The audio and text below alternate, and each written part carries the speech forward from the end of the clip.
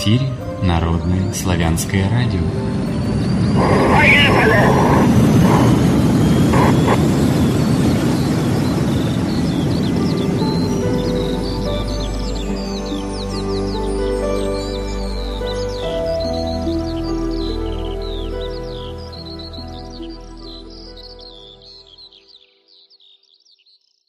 Всем здравия, с вами Народное славянское радио. Сегодня у нас 11 марта 2016 года, пятница, по одному из современных календарей, по одному из старинных, десятый день месяца пробуждения природы, 7524 лета седмица. Мы начинаем наш живой эфир, который будет посвящен теме «Родокон, младенчество, закон русского духа». Главный сведущий, хорошо уж вам знакомый, Кутенков Павел Иванович. Здравия. А, добрый день, уважаемые судари и сударыни. Добрый день, Алексей. Как приятно слышать наши родные слова. Напоминаю, что мы договорились, что в эфирах будем играть в игру, и я, если буду допускать ляпы, связанные с иностранщиной, то Павел Иванович меня будет эм, ну, не сказать, как школьника драть розгами, но будет поправлять в меру своего интеллигентного воспитания и своей направленности. А как это получится, вы это все увидите и узнаете. Думаю, что это будет всем наглядно, э, доступно и полезно.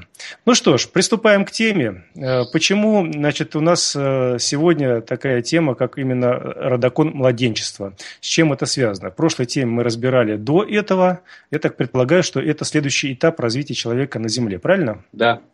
Ну, раз так, значит, давайте приступаем. А нашим радиослушателям прошу э, быть внимательными, иметь э, ручки на месте, чтобы держать в, рук... в ручках ручки, чтобы можно было писать, задавать вопросы. А чтобы задавать вопросы, еще лучше войти в чат нашего радио и там, общаясь с друзьями, находить общие какие-то точки, общие, может быть, взгляды на жизнь и задавать вопросы к нам в эфир. Все, не буду мешать, предоставляю микрофон. Еще раз э, добрый вечер, уважаемые судари и сударыни. Наша с вами очередная встреча посвящена в целом закону русского духа. Как вы знаете, в 2012 году был открыт закон русского духа. Э, в 2014 году вышло первое издание книги труда «Закон русского духа в обрядах и срядах восточных славян», одноименное название. А вот недавно осенью вышло второе издание. Радович издал в Москве э, эту же книгу в более таком э, лучшем, так скажем, виде.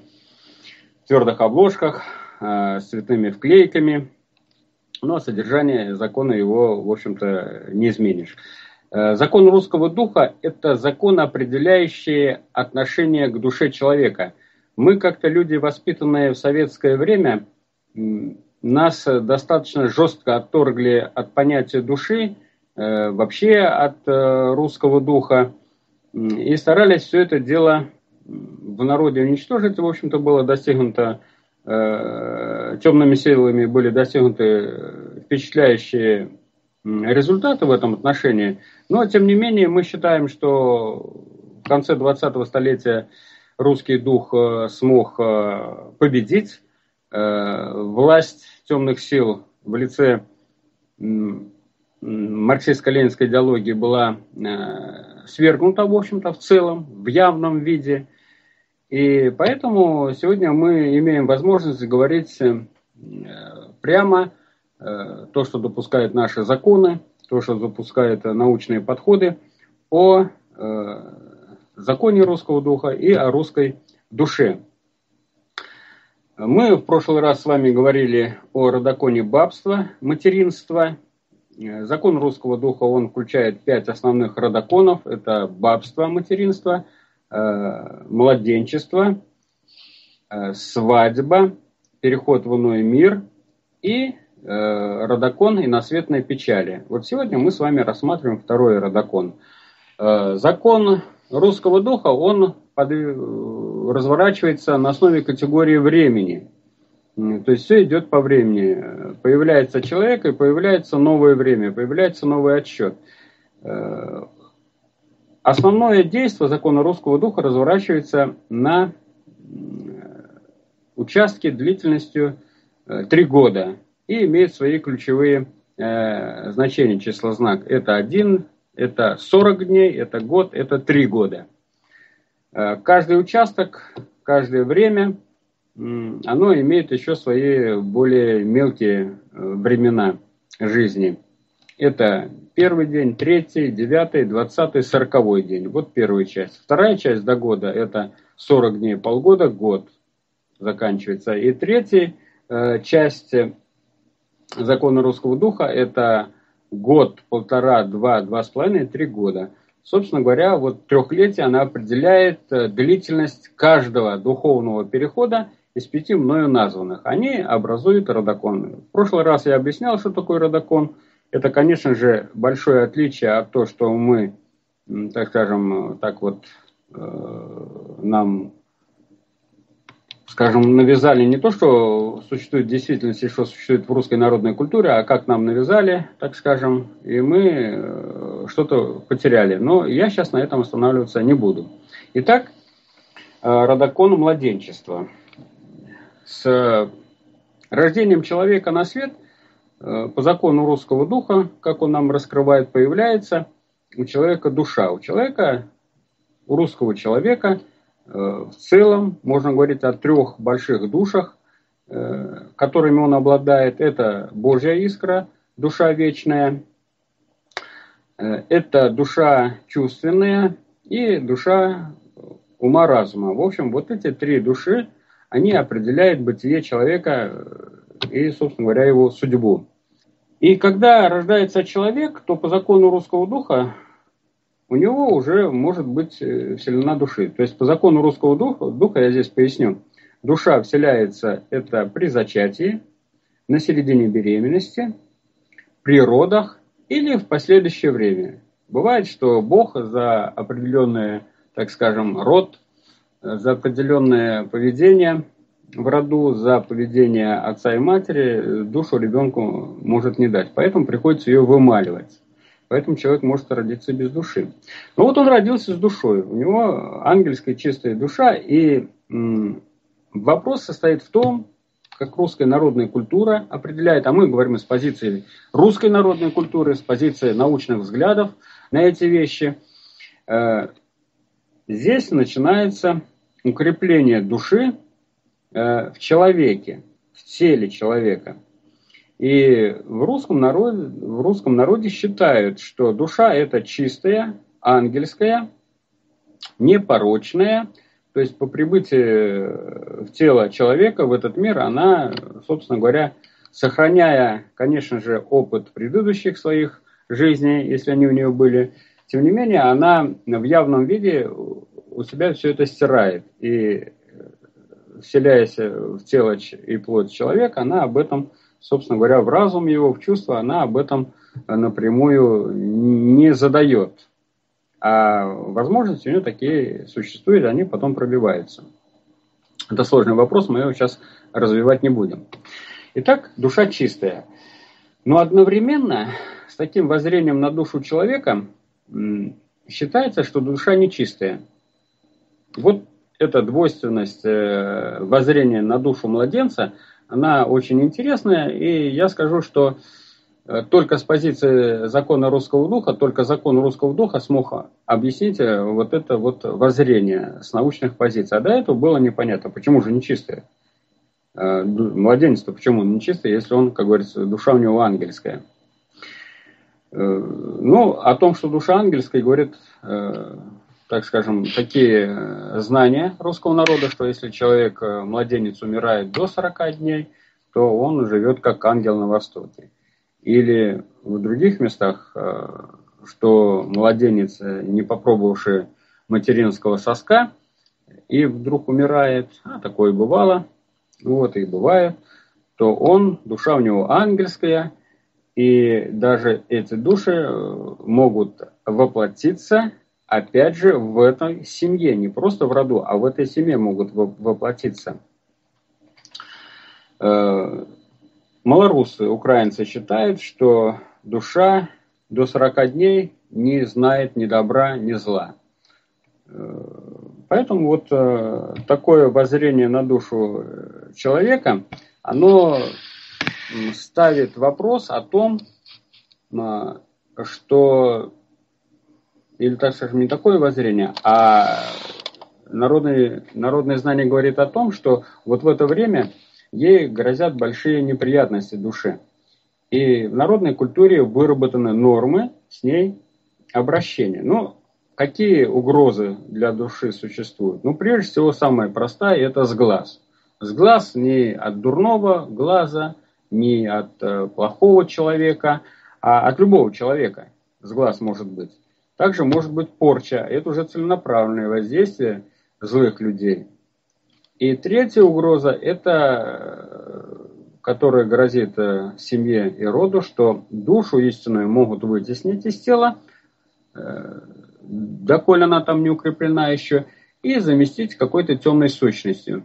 То есть э, угроза от нечистой силы. И вот эти три угрозы, они ставят задачу ее охранения. И культура охраняет, народная культура выработала нормы, которые позволяют ее хорошо сохранить. Прежде всего, это молитва заговор, это огонь свечи, это обереги, мужские вещи, э, принадлежности мужского, э, отцовские, дедовские э, орудия труда э, мужские.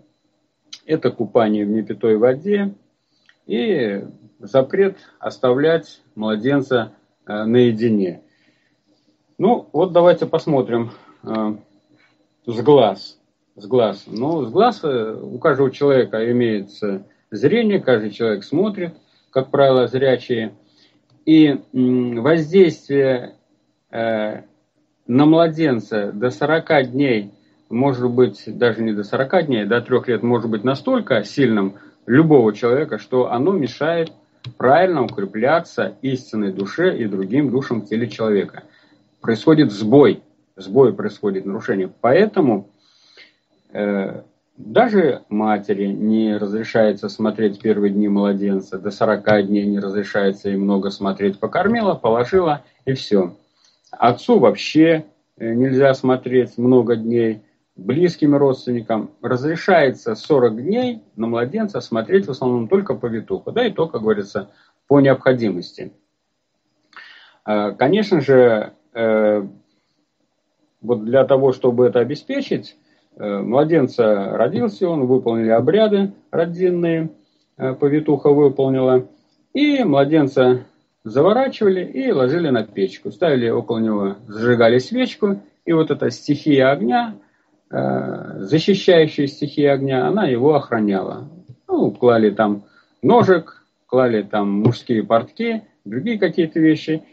И, естественно, не оставляли одного. То есть вот это обеспечивало защиту Э, на печке никто, как говорится, не заглядывал, них не видели. Свечку в русской народной культуре около младенца жгли так же, как и при покойнике, допустим, 40 дней. То есть 40 дней свечка должна гореть постоянно. Тогда обеспечивается достаточно надежная защита от определенных воздействий.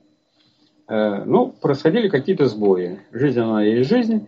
И тогда предусматривались обряды купания. Обряды купания. Купали младенца всегда или после купания это окачивали непитой водой, непитой водой, которая очищала от всех нечистиков, которые могли к нему, как говорится, прикрепиться до 40 дней. После 40 дней такую воду э, усиливали, усиливали, добавляли туда крещенской, крещенской воды, более сильной воды.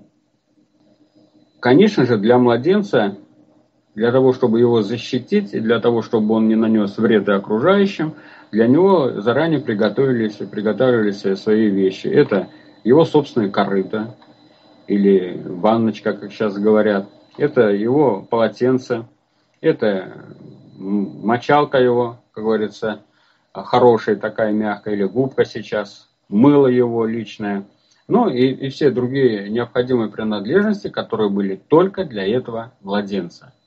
Э, ими пользовалась родительница и повитуха э, до 40 дней. Повитуха работала с этими вещами. Вот это позволяло э, защищать. Ну, люди рождались, младенцы рождались в разных состояниях. Мог родиться младенец слабым. И вот здесь э, очень важная роль э, для того, чтобы подпитать силой, духовной силой младенца, его души, его душу истинную, поддержать ее в теле, чтобы она не ушла раньше времени, то есть чтобы он не умер, тогда осуществляли обряд, проводили обряд именно речения, крещения. Именно, именно речение, но которое совмещалось и с крещением здесь. Потому что в народной культуре эти вещи бывают разнесены, бывают совмещены. И обряд этот именно речение проводила повитуха. Но допускалось, что и какая-то там бабушка, э, свекровь, теща, даже сама мать э, в русской народной культуре, мной записано случаи, когда и мать э, сама э, именно рекала. Но когда обряд именно речения проводила э, повитуха, то имя давали родители. Ну, как правило, это отец. Это принадлежало право отцу. Он давал имя, а именно рекала повитуха его. Ну, она погружала младенца три раза в непитую воду. Непитую воду. Вода это не питая обычно доставалась из колодца. Э, зимой, летом ли, собственно говоря, не остужалась. Вот это интересное э, такое, интересное такое явление, которое еще в свое время даже Михаил Васильевич Ломоносов, э, так скажем, протестовал против этого. Вот, человек, он был просвещенный, так скажем, но здесь вот у него душа, э, видимо, еще не доходила закон русского духа, он воспринимал чувства, но он его не знал, что он существует, поэтому вот он выступал против этого. А так это дожило и до 20 века, и сейчас еще во многих селениях так и действует. Когда при повитуха, если крестит, рекает, то холодную воду. А и в церкви то же самое бывает такие, если, как говорят, священники просвещенные в этом отношении, то они э, не нарушают, потому что вода должна быть естественной, как говорится. Э, это ключевая вода, это речная вода, это колодезная вода, она естественная. То есть это вот э, очень древний искань в русской народной культуре, да и в церкви она прижилась.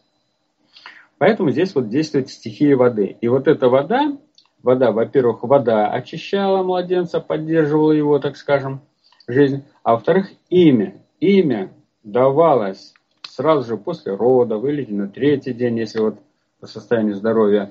Оно позволяло, во-первых, поддержать младенца потому что молитвы, заговоры, э, обращения с душой можно только тогда э, делать, когда есть имя.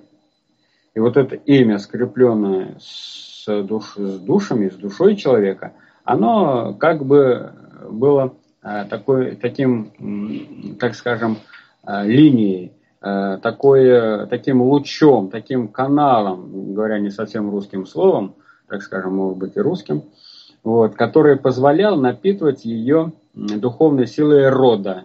И тогда э, душа, как говорится, младенца, она укреплялась в теле. Ну а если уже происходило э, непоправимое, душа уходила из тела, тогда эта душа э, оставалась э, в той близости, когда род мог ее возвратить обратно в свой род, так скажем вот провести правильно беременность, провести правильно роды, какие-то, возможно, были нарушения, и вернуть ее в род. То есть здесь вот раннее имя наречения, она обеспечила вот эти, выполнение вот этих двух задач. Были и другие задачи.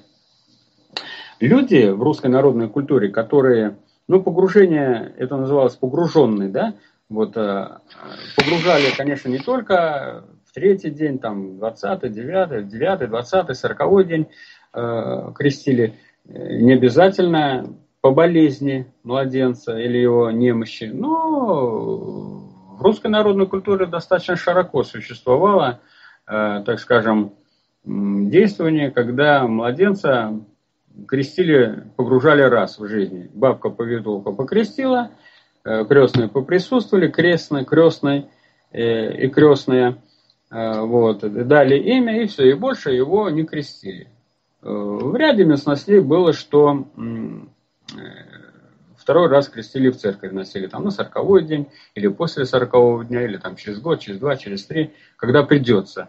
Но главное было погружение. Главное было погружение, и поэтому вот люди, которые прошли обряд именно речения и крещения погружением, они назывались, и сейчас они называются, их много таких людей в русской народной культуре, погруженные. Вот он погруженный, он не крещенный, а погруженный. Хотя в действительности его вот крестили э, так скажем, крестили ими, нарекали, э, так как э, положено по древним исканям, ну, скажем так, э, родноверческим. Иногда это кто-то говорит языческий, но это совершенно неправильно.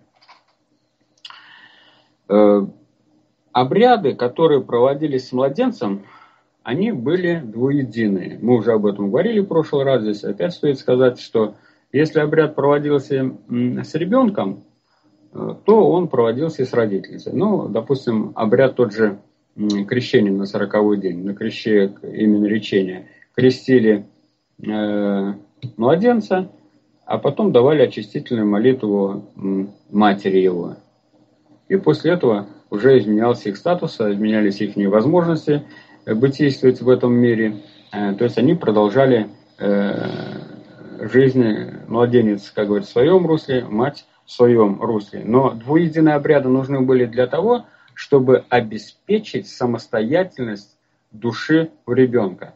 То есть одна из задач, которая э, решала русская народная культура, решает и вообще сегодня это было и всегда это будет, это дать самостоятельность Э, человеку, появившемуся здесь. А так как он был сильно связан с матерью во время беременности, то вот двуединые обряды, они постоянно, так скажем, душу и другие души, божественные искры, другие души человека делали более самостоятельными э, в теле младенца. Вот э, двуединая обрядность этому способствовала. Ну, это размывание рук, тот же известный обряд размывания рук, он э, в ряде местностей вот э, проводился, там дитё участвовало. То есть э, во время родов были такие состояния духовные, испытывали повитуха, роженица и младенец, что души соединялись в определенную суть духовную.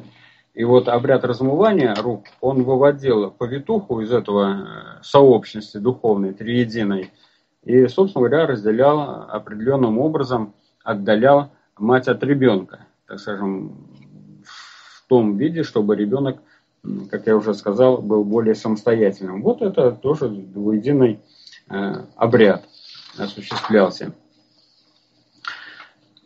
Э, когда мы говорим про обряд погружения, про то, что постоянно ребенка мыли, в разных местностях это по-разному были, где каждый день, где два раза в неделю, где раз в неделю, допустим, там до 40 дня, то вот э, э, моя, просто делая, как говорится, такое естественное очищение от э, его, так скажем, выделений, э, потом его окачивали вот непитой водой. И вот эту вот непитую воду, непитую воду, ее выливали, выливали после этого в определенное место. И установился, э, установилось знание, что ее нужно выливать, выливать то место, где не ходят люди, где э, место, которое не ошагивают люди. Ну, это говорит о том, что вот именно окачивание, оно э, выполняло задачу очищения очищения младенца от возможных э, нечистиков, э, различных находов, наносов, которые э, на ребенка могли быть посланы. Находы это вот, которые порчу имеют, и к ребенку могли прийти, а нанос это с глаз.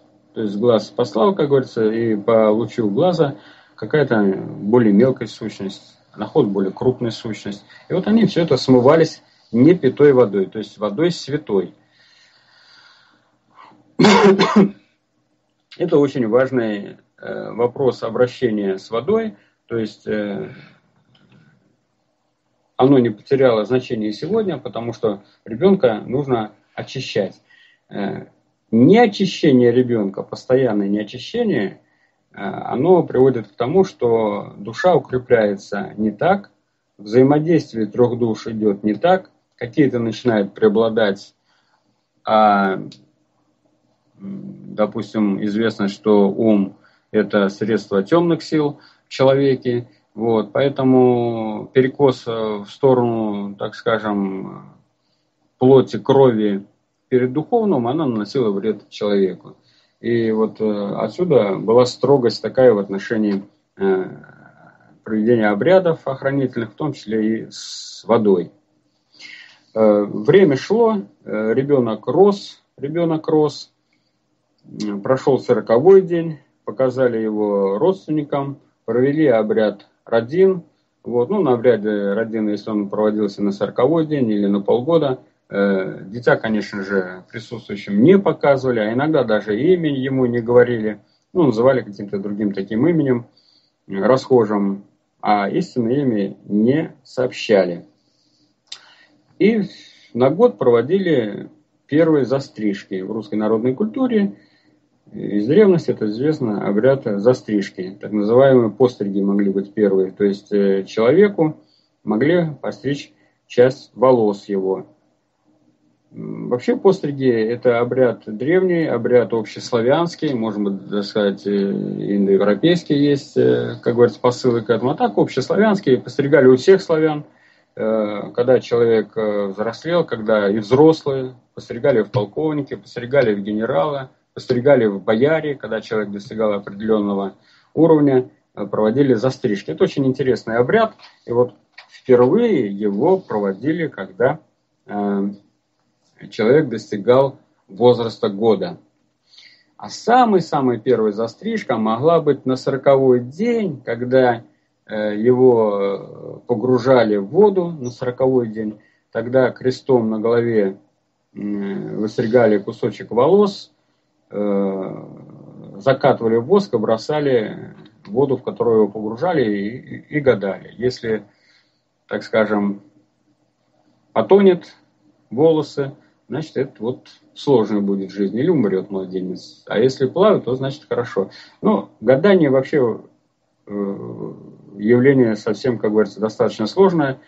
И не обязательно, в общем-то, так скажем, гадать. Потому что для того, чтобы гадать, нужно обладать опытом и возможностями исправить то, что покажет гадание. А гадание может показать разное.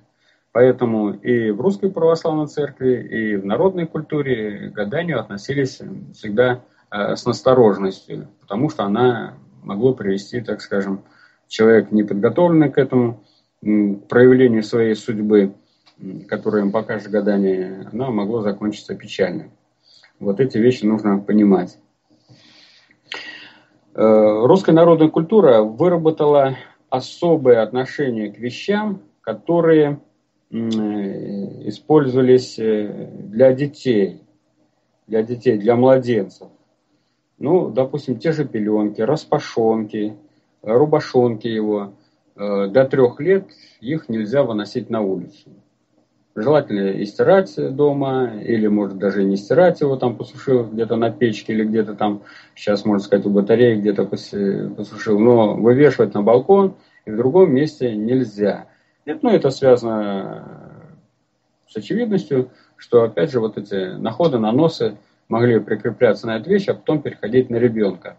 То есть э, все нечистые сущности, они искали различные пути доступа э, к телу человека, чтобы овладеть им и питаться его возможностями.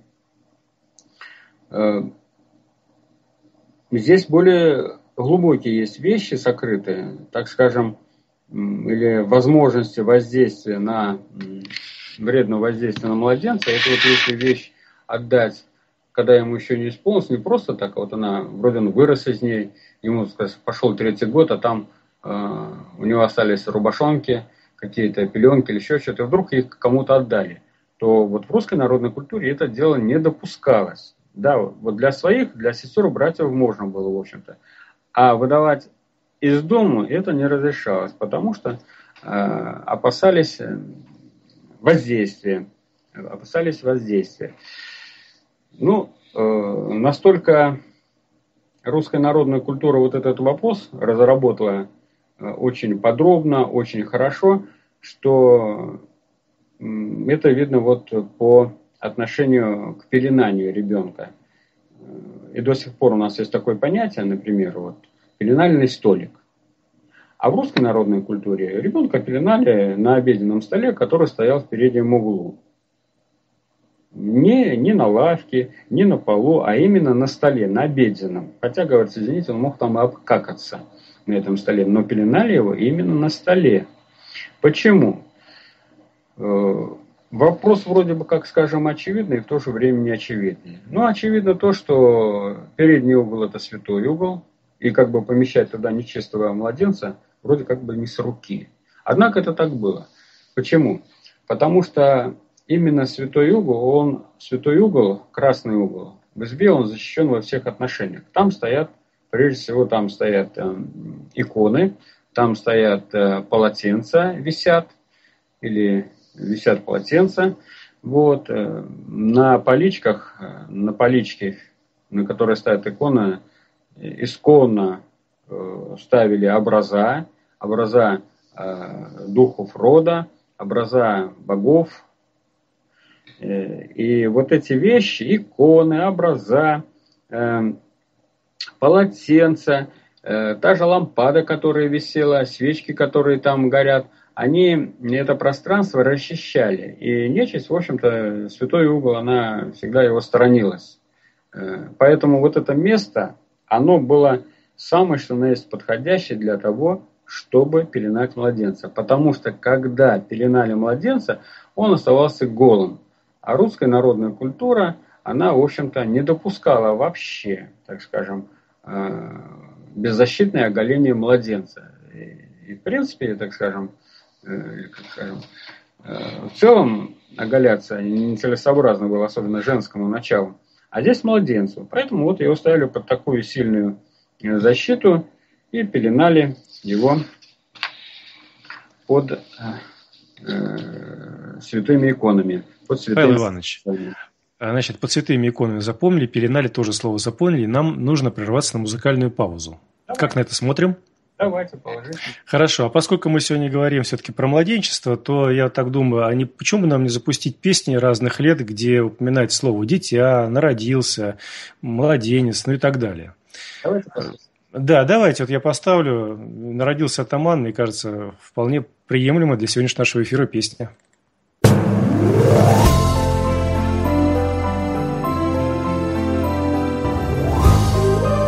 Вы слушаете Народный Славянское радио.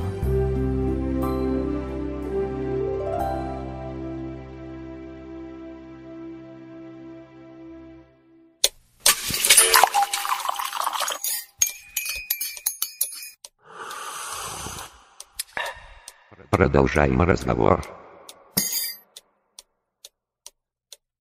Продолжаем разговор на Народном славянском радио. Напомню, что по одному из современных календарей 11 марта 2016 года пятница, по одному из старинных 10 день месяца пробуждения природы, 7524 лета седмица. И если вы ощущаете, что сегодня как раз те самые дни, о которых я сказал, то вы можете войти в чат и в чате задавать вопросы в эфир, то есть создавать эфир вместе с нами, задавая свои вопросы, общаться с друзьями. Для этого достаточно один раз зарегистрироваться в чате, а для того, чтобы попасть в чат, необходимо попасть на сайт Народно-славянского радио. Так и набирать в любом поисковике Народное славянское радио. После этого ищите слово «чат», нажимайте на него и радостно придумайте логин и пароль на всю жизнь, чтобы его потом не забыть. Ну и все, и, в общем-то, становитесь полноценным человеком, созидающим в этом мире что-то доброе и хорошее.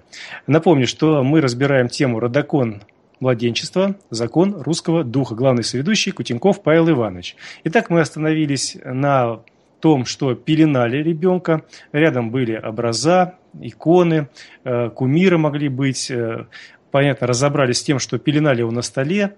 Здесь уже по этим всем вопросам, вернее, по всему, что было сказано, идут уже вопросы в чате. Мы их принимаем, записываем. И обязательно после того, как Павел Иванович озвучит э, тему, как он ее подготовил, мы уже будем переходить к вашим вопросам. Так что никто не забыл, ничто не забыто, как говорится. Все на виду, мы за всем следим. Итак, продолжаем. Павел Иванович, пожалуйста. Да, уважаемые судари и сударыни, мы с вами ведем речь о законе русского духа. Э, и осенью прошлого года в Москве в издании Радович вышла эта книга. Второе издание «Закон русского духа в обрядах и срядах восточных славян». И мы рассматриваем Арадакон младенчества. Итак, э, поговорив, очертив круг э, состояний и защиты дитя, Э, мы давайте коснемся вопроса, чем встречал мир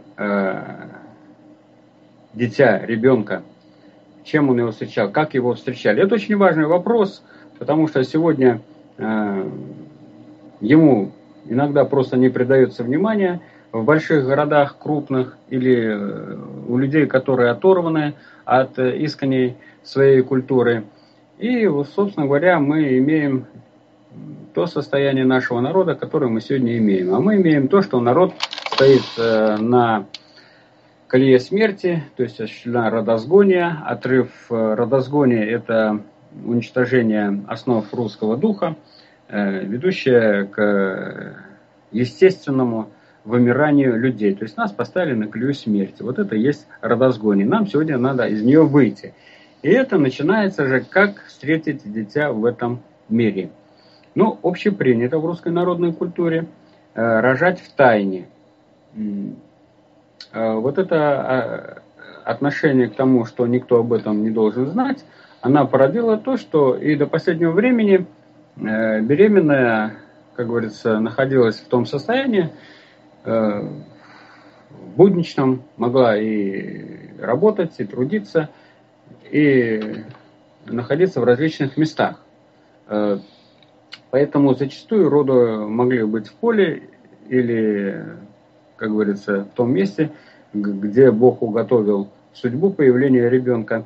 И тогда первым, первой вещью, в которой ребенок появлялся, это был подол материнской матери. И это очень интересно и знаково, потому как э, в дальнейшем при лечении вот ребенка от нечистых, э, от других каких-то болезней. Э, после всего лечения обязательно старались вытереть материнским подолом, то есть как бы напомнить его, что вот мать его родила, и она его оберегает и охраняет. Обязательно, обязательно, конечно же, для того, чтобы встретить ребенка в этом свете, невеста еще до того, до, задолго до, как говорится, того, как она станет матерью, женой, э, она заготавливала свое преданное и в преданном готовила полотенца родильные. И, и вот в них, э, если все роды, как говорится, были, так скажем, позволяли, то вот это принимали в это полотенчика. Ну, это вот, например, в селе Вяземка Пензенской области э, это было. Или вот в деревне Рухань, Смоленской области, Ершичинский район, это наметку заготавливали, очень тонкая такая полотенчика, наметка, тонкое такое полотенчико родильное. И его принимали после родин, после выполнения обрядов, а потом она хранилась, и затем э, в эту, этой наметкой его покрывали в гробу. То есть, когда человек уходил на тот свет, то тело покрывали – Э, собственно говоря, это очень интересное явление. Среди ученого мира известно, что мать это ткет, мать ткет нить судьбу э, своего э, дитя, своих детей. И вот в руханьском обряде мы видим, что приняла она в наметку, и с этой наметкой он появился, и с этой наметки, с этой, в этой наметке он ушел из этого мира. Ну, вот нить судьбы полотно – это нить судьбы, и мы знаем, что нить э, судьбы народов, э, людей ткут у каждого народа пряхи. Ну, у нас они ткут, это для народа ткут э, пряхи, лада, леля и полеля.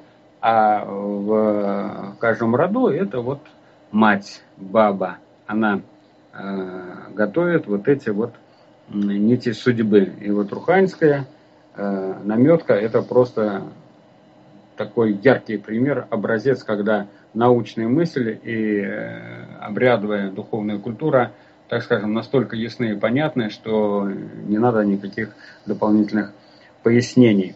Но э, принято, принято, э, кстати, кроме нити судьбы, то, что вот э, это руханская наметка, здесь еще появляется другой вопрос – ведь э, защита души, но это мы будем после говорить в других передачах, что э, душу ее защищать надо как в природах, так и при переходе в иной мир. Поэтому вот здесь она, э, наметка, выполняет, собственно говоря, и задачи вот такие естественные, защищает душу в ее пороговых переходах, пороговых состояниях.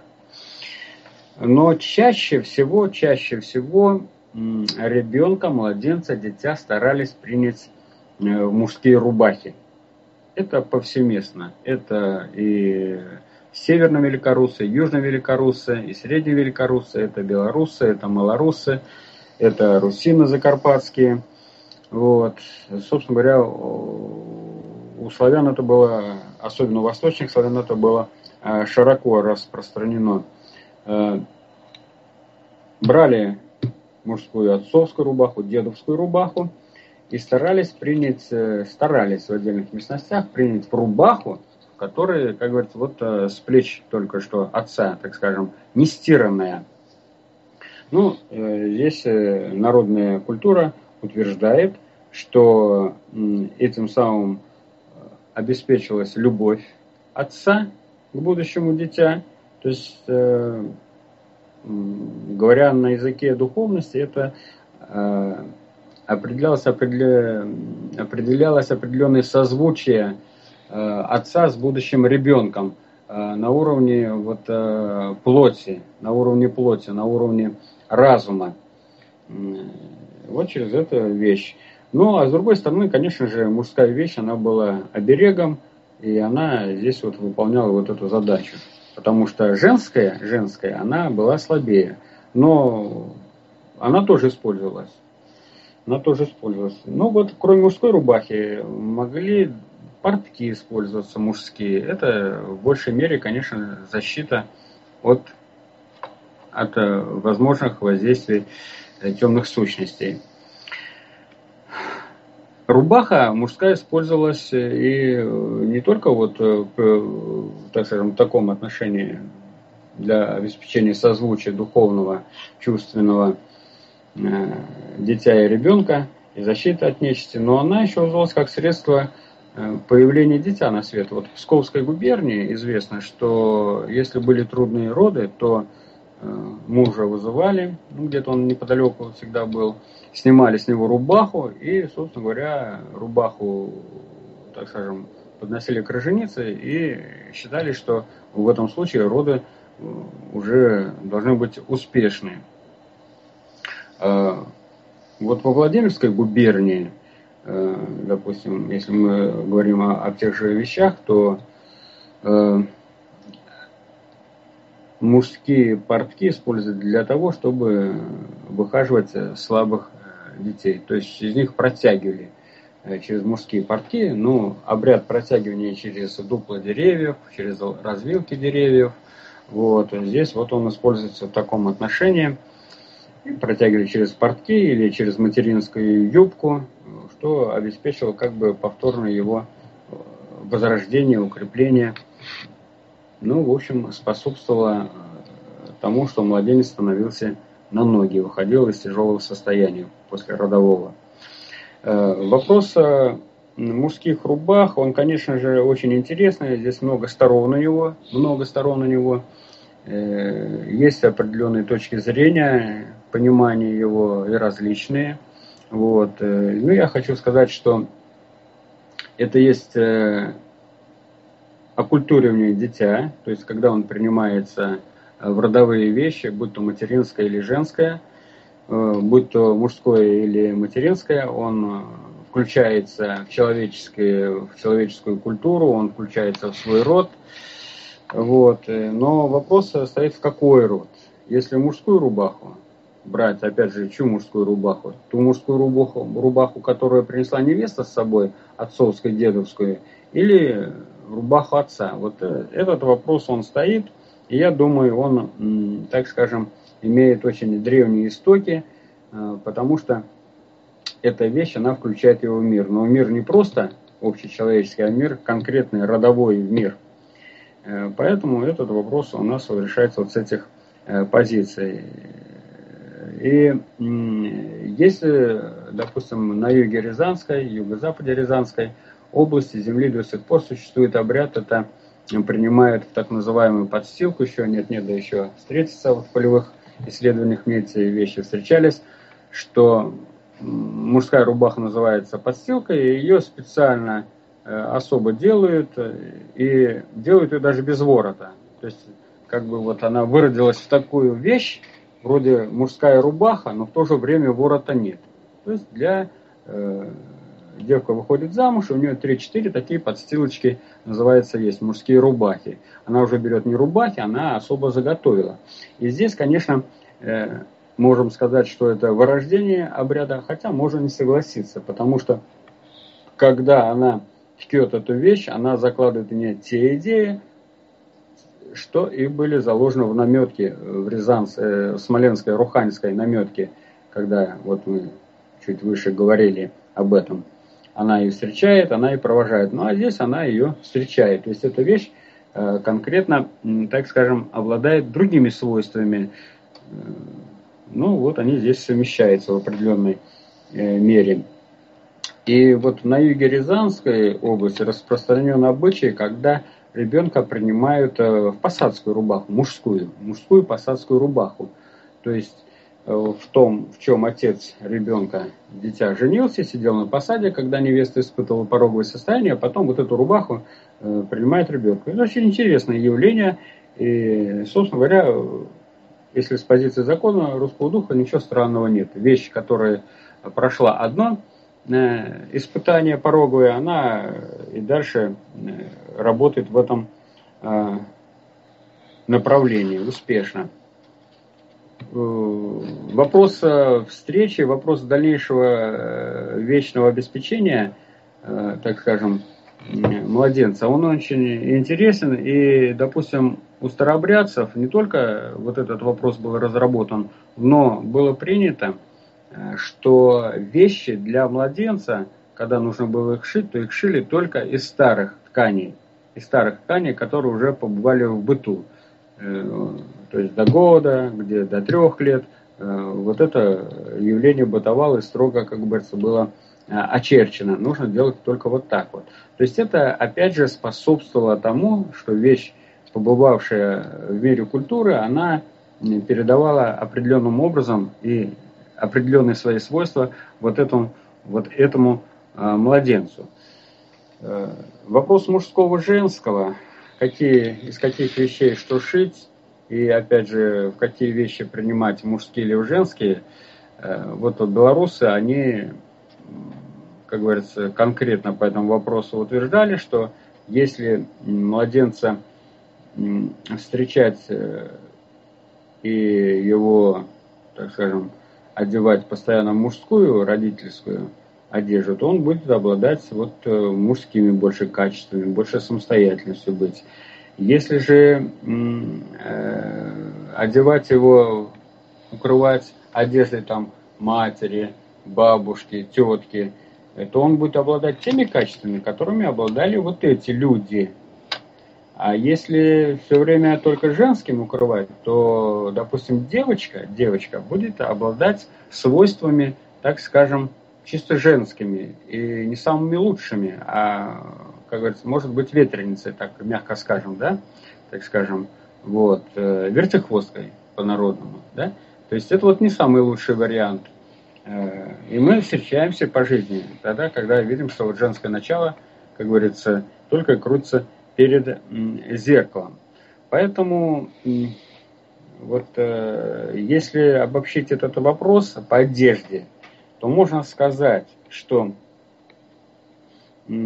одежда, которую встречает младенца в этом мире, она приравнивается а, для него равной как крови и плоти. Это то есть достаточно очень сильная а, сторона бытия человека, которую нам необходимо учитывать. Но к этому можно добавить, что младенцы же, конечно, его Э, часто очень принимали после всех обрядов и клали на шубу. Э, пожелание богатства. Э, вопрос крестильных вещей, он очень важен. Он очень важен, потому что это было дальнейшее включение человека в жизнь. Вот когда крестили, погружали, то для ребенка готовили пояс, рубашку и полотенце. И каждая вещь крестильная вещь, она имела свое э, значение. Но вот, допустим, э, в селе Кириллово, это бывшая Тамбовская губерния, там младенца принимали в рубаху, младенца повитуха принимала в мужскую, отцовскую рубаху. Это служило защитой от нечисти. Когда его крестили, то повитуха надевала а, крестильную рубашку, рубашку погружения. Это было приобщение его к роду, в мир культуры он включался. А крестная, именно крестная, младенца принимала на полотенце, которое она готовила. Э, то есть вот мы видим здесь три вещи, да? Э, защита от нечисти, подключение к роду. И третье, это вот то же самое нить судьбы полотенца. Э, это была передача, передача духовной жизни крестным, крестной и крестным. Они отвечали за духовное воспитание дитя. И вот все это выполнялось э, в таком, как говорится, таких вот достаточно простых обрядах. Но они соблюдались очень строго. И сейчас можно с ними встретиться.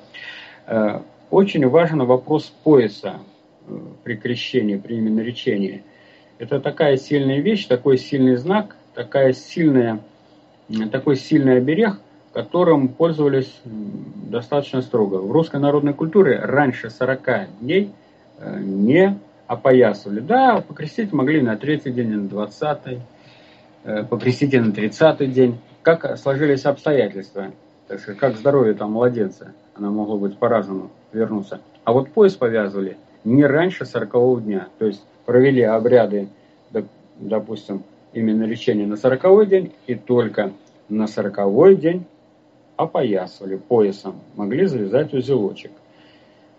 И то еще не везде. Во многих землях и краях Великой Руси опоясывали после года. После года разрешался опоясывать. И вот э, вопрос узла и пояса, он, конечно, Э, настолько важен, что даже младенца, когда его начинали, э, можно задать вопрос, а как же его там, а, так скажем, э, опоясывали, не опоясывали, да, его свивали свивальнем, так называемым, тоже похож на пояс. Но когда свивали свивальнем младенца, а это происходило не раньше третьего дня обычно, потому что до третьего дня вообще его не свивали, только заворачивали, вот подтыкали, то свивальнем, свивальнем э, концы свивальня всегда подтыкали, но узлы не завязывали. То есть вот завязать узел на судьбе человека в это время считалось, так скажем, не то что предрассудительным, потому что это нельзя было делать.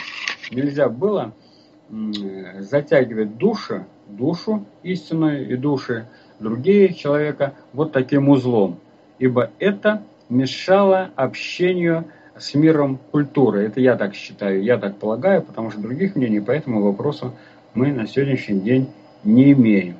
Поэтому вот вопрос с поясом, он на сегодня требует, э, так скажем, опасливого отношения, опасного отношения. Нужно понимать, что вещь влияет на судьбу человека. И, э, как говорится, завязывать узелки раньше времени на ней не стоит. Можно нечаянно повредить. И подходя, как говорится, э, к изложению, к окончанию изложения материала, хочу сказать, что очень часто мы видим детей в разноцветных одеждах и в красных, ярких. Вот в русской народной культуре это не принято. Э, считается, что ребенка до трех лет, когда не закончится основное действие закона русского духа, это три года, вот, э, цвет э, одежде должен быть спокойный. Белый, светло-синенький, светло какой-то, может быть, там голубенький, светло-серенький, такая, скажем, но не ярко, не ярко-желтый, не ярко-зеленый, не ярко-красный. То есть цвета должны быть спокойными.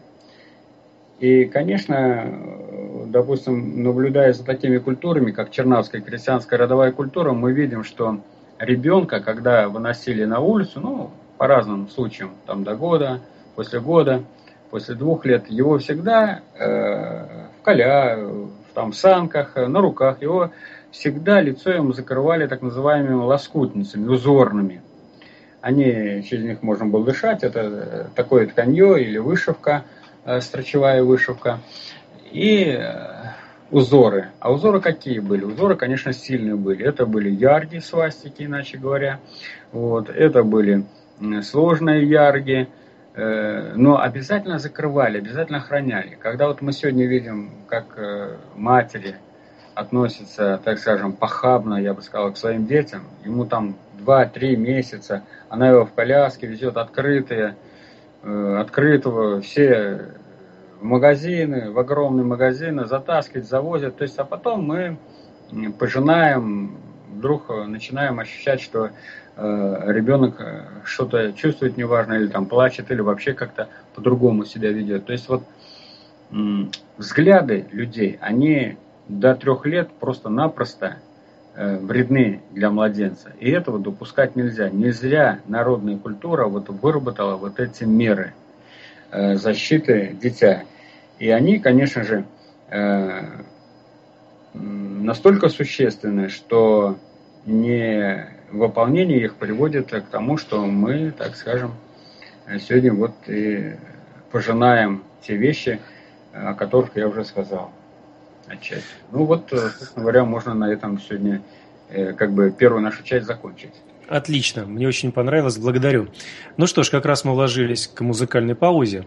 А поскольку у нас посвящена тема родокона младенчества, то так или иначе здесь будут у нас звучать песни, связанные с младенцами, с родами, с детством, все, что вот с э, этой тематикой связано. И я попрошу э, в чате не выкладывать название этой песни, которая будет звучать, а попрошу попытаться наших радиослушателей узнать, кто же этот замечательный исполнитель, который поет э, так хорошо свои, сразу скажу, это композитор и исполнитель, свои песни. Вот давайте послушаем музыкальную паузу и попробуем в чате провести такой небольшой эксперимент. Узнаете вы или нет. В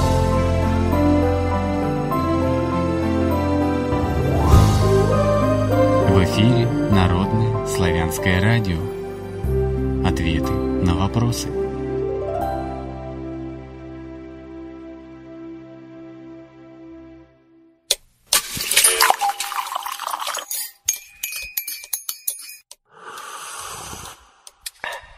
Продолжаем разговор.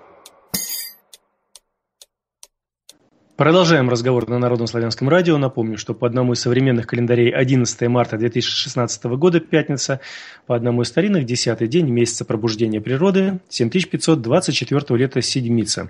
Родокон младенчества, законы русского духа, Такого, такова тема сегодняшнего нашего эфира. Главный сведущий Кутенков Павел Иванович. И мы подошли к моменту, когда уже наконец-то можем озвучивать вопросы, поступившие из чата Народного славянского радио, сюда, в наш мини конфер... в мини... Так, сейчас, Павел Иванович, я бросаю слова чат, конференция. Давайте подберем наше русское название. Круг. В наш малый круг. Хорошо. И первое будет не вопрос, первая реплика, такая не очень, э, такая немножко недовольная. Закон слова не очень хорошее, а у нас тут закон слова русского духа присутствует. Почему слово закон? Спасибо за вопрос. Э, почему закон слово нехорошее? Закон это хорошее, э, оно состоит, слово закон состоит из двух основ за и кон. Кон это понятно, я думаю, всем понятно, это то, что Богом дано э, каждому народу. Те основы бытия, которые он получил при получении места на нашей земле. Это коны, поконы. А есть законы. Законы это тогда, когда народ продолжает свой, свое бытие на своей родной земле. То есть идет законом. Вот наши предки проложили пути, дороги э, на этой земле, э, проложили пути к Богу, к свету, не теряли их. И они идут законом за этим, то есть во след друг за другой. Поэтому я не вижу э, тут чего-то такого плохого. Здесь матерного нету, обидного нету слова. Здесь просто глубинные смыслы, которые нужно понимать с позиции Э, русского языка. А русский язык – это хранитель нашего, э, нашей духовной культуры, наших конов, наших поконов и наших законов. Угу. Просто есть теория такая, э, она очень активно изве... очень развивается, и многим известно о том, что есть кон, это все знания наши древние, устои, а есть закон, то есть за как бы кругом находящийся, то есть вышедшее за пределы и уже не являющийся нашим. Видимо, с этой точки зрения вот да, наш человек написал. Да, я понимаю, и в предисловии книги «К закону русского духа» я встретился с этим вопросом, когда издатели э, тоже выразили недовольство, и я в предисловии посвящаю, написал особое предисловие, предуведомление к читателям, где объяснил эти вещи, что на русский язык нужно смотреть не, несколько глубже. И всегда в каждом знаке, в каждом знаке есть много смыслов. Есть какие-то коренные, есть э, несколько ключевых, и их просто надо понимать. А мы, когда сосредоточиваем сосредотачиваем свое, э, так скажем, э, внимание на чем-то одном, а не в состоянии охватить весь круг вот этих мнений, этих действий этого слова, тогда у нас вот создаются такие вот, так скажем, неполные, неполные представления о тех основах, которыми владеет русская народная культура и, собственно говоря, родноверие славян. Вот. А она стоит на законах, на поконах, на конах. Это все, как говорится, различные, различные э, пути, различные пути одного и того же действия. Да, еще в каком контексте здесь имеется в виду, что если закон, то есть одно за другим движущееся, одно из другого выходящее, истекающее, это одно. А если мы имеем в виду и выходящее за пределы, другое. Но здесь контекст уже произношения другой и да, да, другое. Да, да. Потому что есть, правильно, кон, покон, искон и так далее. Есть много вариантов. Хорошо, разобрались. Здесь э, специально вбросил вот эту маленькую провокацию, да, сделал, интрижечку такую, опять не наши слова бросаю. Вот, и сразу мне сказали, у нас называется изба народного славянского радио, а здесь горница. Вот в горнице мы и общаемся. Вот и так далее. Хорошо, следующий вопрос. Э, Владимир Измутич. В анонсе написано «Защита младенца от нечистой, а также недоброго глаза и порчи». Поэтому у меня сразу вопрос. Павел Иванович, по терминам «нечистая» понимается неочищенная сила или темная сила, или злая сила? Что это вообще за такое чудо? Как понятием, да, не термином, а понятием. Мы пользуемся понятиями, содержанием слов. Э, вот в законе русского духа Э, и в русской народной культуре под словом «нечистое» понимается это та сила, которая противостоит свету. Э, это та сила, которая отсекает от света, отжившая, отгнившая, э, вышедшая из употребления или потерявшая свои, как говорится, корни, которая мечется крутится, вертится, не знает, куда прибиться. И вот э, тогда нечистая ее хватает и забирает э, себе. То есть нечистая выполняет э, задачу чистильщика пространства, задачу, эм, как говорится, такого вот рубщика, отсекателя. Она разделяет на чистое и нечистое, опять так скажем, занимаясь вот повторением этих вещей. То есть это сущности, это определенные сущности разных уровней, которые, которые, как говорится, как только ты теряешь бдительность, как только народ теряет бдительность, э, теряет свои иконы, поконы, законы, так она, так скажем, идет во след. Э, если с позиции материального мира, то, скажем так, как вот только э, ржа нападает, ржавчина на какую-то, так скажем, железку, и потихонечку начинает ее, как говорится, есть. Потом смотришь, Э, вроде так и все хорошо, а раз нажал, прижал где-то, хопа, а там уже ржавчина, и все, вещь, как говорится, теряет свою устойчивость, устойчивость лопается, э, портится, там, топор, молоток, там, рама машины или еще чего-то, как говорится, осталась только внешняя мишура, краска, а внутри уже все сгнило. Э, вот так и здесь. Вот нечистая сила, она, так скажем, действует э, на внутреннем, на духовном уровне. Как только человек теряет свои искани, как только он начинает э, искать на чужой стороне,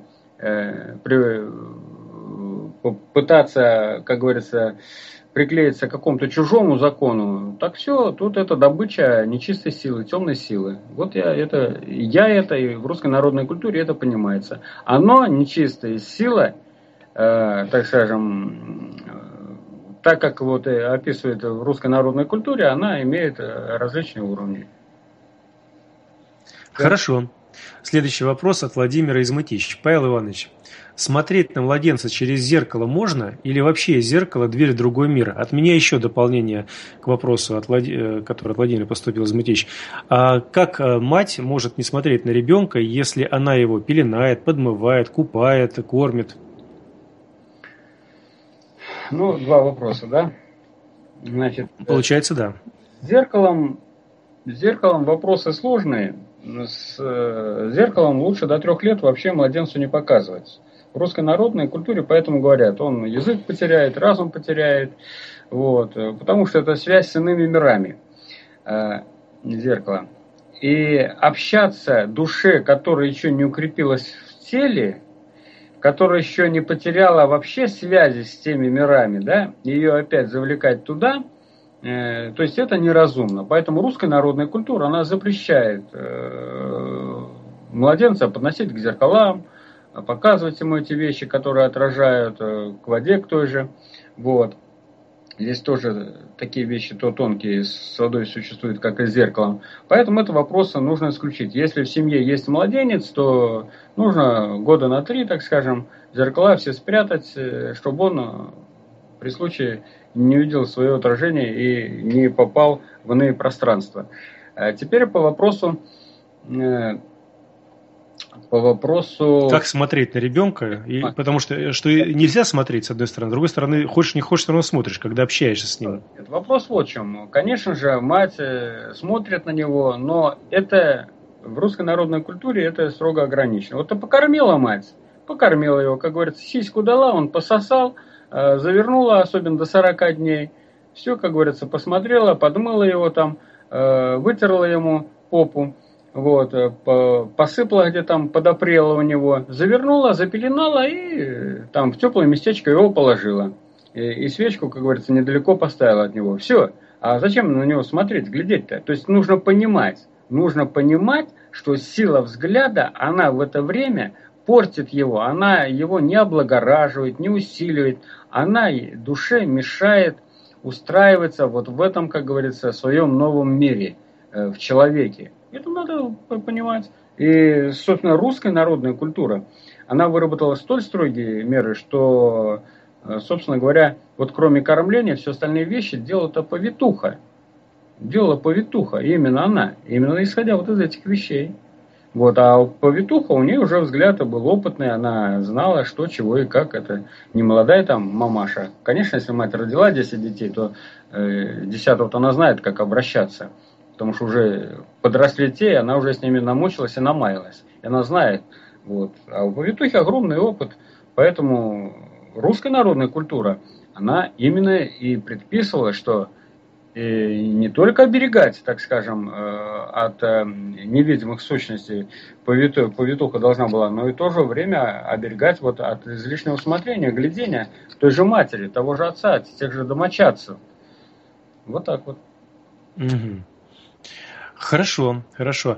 А то, что все-таки считается, что чем больше с ребенком общаются родители, тем лучше. Вот как здесь э, не противоречит ли не, отодвигает, не отдаляет ли, что нельзя смотреть, но при этом надо больше с ребенком быть рядом, находиться, общаться с ним. Нет, это одно другому не противоречит, понимаете, нет? Э, когда мы говорим, что нужно с ним общаться, общаться надо с того, как он зачался, с ним надо общаться. И здесь точно так же. Ты его, как говорится, ну, до 40 дней он лежит в этой самой, на печке, да, а потом его перемещают в колыбель, а в колыбели он закрыт. Ты его пеленой закрыла и общайся с ним. Он же слышит, он же слышит. А уже после, а после 40 дней, так скажем, э, там э, на материнское общение и на родительское общение вообще э, к нему расширяется после 40 дней. Но до 40 дней этого нецелесообразно делать, только звуковое общение. А общение через взгляд, она строго ограничена. Так что вот я здесь не вижу никаких противоречий. Народная культура это вопросы все, как говорится, хорошо продумано. Угу. Хорошо. Вопрос в эфир от Сергея Серепейских гор. Свечка должна гореть 40 дней, восковая или любая, например, масляная. И что происходит такое, пока горит свечка, что от всего нечистого защищает? Э, свечка, да, да, свечка, да, конечно же, свечка лучше должна быть освещенная, да, так скажем, а осветит, э, свечи освещает хозяин, или священник, или жрец, или сам хозяин берет, читает молитву, и, как говорится, эти свечи освещает их, предварительно очищает. Э, если есть светильник лампадка, там какая-то, другой светильник масляный, он тоже защищает, он тоже защищает. Вот, но считается, что свечка более сильное средство, потому что э, там, как говорится, есть э, вещи, которые связаны с природой в этом воске, так скажем, в масле их меньше, поэтому мы еще не все знаем, почему вот, э, так скажем, народная культура расставила ударение, а почему она не все объясняет. Это нужно проводить огромные испытания, а, огромные исследования, чтобы ответить на какие-то вот такие возникающие вопросы. Но лучше со свечкой. Огонь, огонь защищает, огонь защищает от нечистой силы. Э, но она не приближается к огню, э, к свечному, к огню, который освещен, как говорится, намерением людей. Здесь очень важно намерение, которое еще вкладывают люди в этот огонь. Вот. Здесь огонь не только сам по себе работает, он сам по себе работает, но еще на наше намерение, намерение родителей, намерение повитухи, которые вот осуществляют эти действия. Угу. То есть э, молу или молву или молитву может э, не обязательно там нести куда-то или на капище, или жрецу, или в церковь. Может э, хозяин дома начитать на свечку, да, и, или мать, или кто-то из рода, да. и эта свеча становится обережной. Да, да, да, да, да. Это хозяин дома, у него такие, у нас в русской народной культуре хозяин это есть жрец, это есть священник для своей семьи. Но ведь все-таки, когда мы говорим про наши древние обряды или те обряды, которые известные современным э, нашим людям, то они все-таки так или иначе отличаются от тех обрядов, которые, ну, скажем так, в христианской церкви известны. Если взять, например, купить в церкви свечи и принести домой, это будет то же самое или все-таки это разная энергетика, разные защиты, разные обереги? Э, я думаю, это вопрос очень тонкий, вопрос очень тонкий. Конечно, конечно, лучше все делать так, как делали предки, да, вот э, есть пчельник, изготовили свечи, скатали их, э, уже на, э, на, так скажем, э, де, на действие изготовления свечей уже в них закладывается намерение. Оно, вот это намерение невидимое, да, оно в них уже присутствует вот это, так сказать, оберегать, защищать. Свечи для этого делается. Конечно же, это сильнее будет.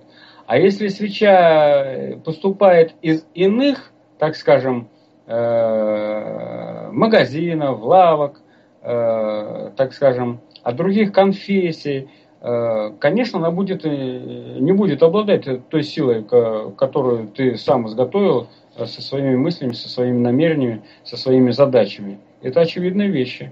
Угу. Тем более, что известно, что церковь, скажем так, мягко, не очень хорошо относится к народным оберегам, к поверьям, каким-то обрядам, которые не связаны с церковными деяниями. Поэтому просто купить в церковь свечку, принести и как обережную зажечь, это я в этом вижу некое противоречие. Ну, э, можно согласиться, можно согласиться, что это есть, но с другой стороны, я хочу сказать, что э, в церкви свечка тоже выполняет обережное значение, понимаете ли? Это, в общем-то, э, они иногда могут какие-то священники так объяснять, а более, так скажем, люди, которые в этом сведущие, старцы, святые, они объясняют так, как вот русская народная культура объясняет. Это защита. Свеча это защита, огонь свечи это защита от нечисти. Вот. Так что это вот так вот. Э, там... Ну, это понятно, да, понятно, что если зажигают свечи, то в этом случае есть какой-то обряд. У нас были передачи, где мы рассматривали, а что же в современной э, русской православной церкви передалось от э, древних ведических знаний. А там оказалось, что очень много. Другое вот. дело, что пони, понимают ли современные священники эти э, символы и эти традиции, или не понимают. И, как оказалось, многие современные священники не понимают. А вот старцы какие-то, которые уже прожили век, которые уже э, понимают, которые уже на себе много что испытали, они так э, в личных беседе говорят, ты знаешь, это вот наше древнее все-таки, вот оттуда пришло. Да, вот Алексей, тоже здесь да, поправлю, что, что слово все же символ, у нас есть понятие знак и знамение. Вот это наше, это наше понятие знак и знамение. Знак это я знаю, понимаю, э, как говорится, веду туда, куда надо. Знамение это то, что э, дает Бог какой-то знак, опять же, но мы его не можем в полной мере понять. Мы не можем его понять. Более э, люди высокого уровня не поймут его, для них он знак будет, для нас знамение. Поэтому слово символ это чужое и неясное, непонятное, лучше его не употреблять.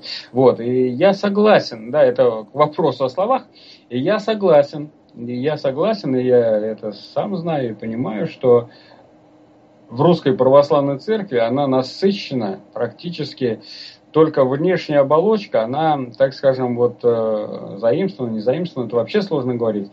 А все внутреннее содержание духовное, по большому счету, это исконное наше, родное. И к этим вещам нужно относиться, так скажем, вот э, я бы так вот относился. Нужно понимать, где стоит, как говорится, граница того, что можно принимать, а что, что нельзя принимать.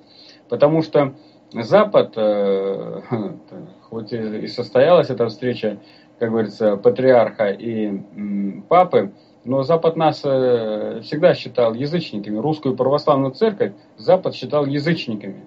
Вот. Э, как, допустим, он считает армянскую, грузинскую церкви, как говорится, автокефальные древние церкви Э, языческими, так и русской православной церковь. Потому что многие обряды и содержание их, оно насыщено э, идеями родноверия, идеями, как говорится, русского народа. Ну, исходя из всего, что сказано, здесь можно подвести итог. Все-таки, если, скажем так, институт церкви, он не приветствует изначально, официально, вернее, официально, мы не берем в виду старцев, а официально он не приветствует какие-то родноверческие вот такие вот взгляды на жизнь, обереги и все остальное, то в этом случае просто купить в лавке церковную свечку, принести домой и использовать ее как оберег, ну, это как минимум, опять же, повторяю слова, как минимум это, ну, противоречие некое. Ну, ладно, в общем, с этим мы разобрались. Идем дальше.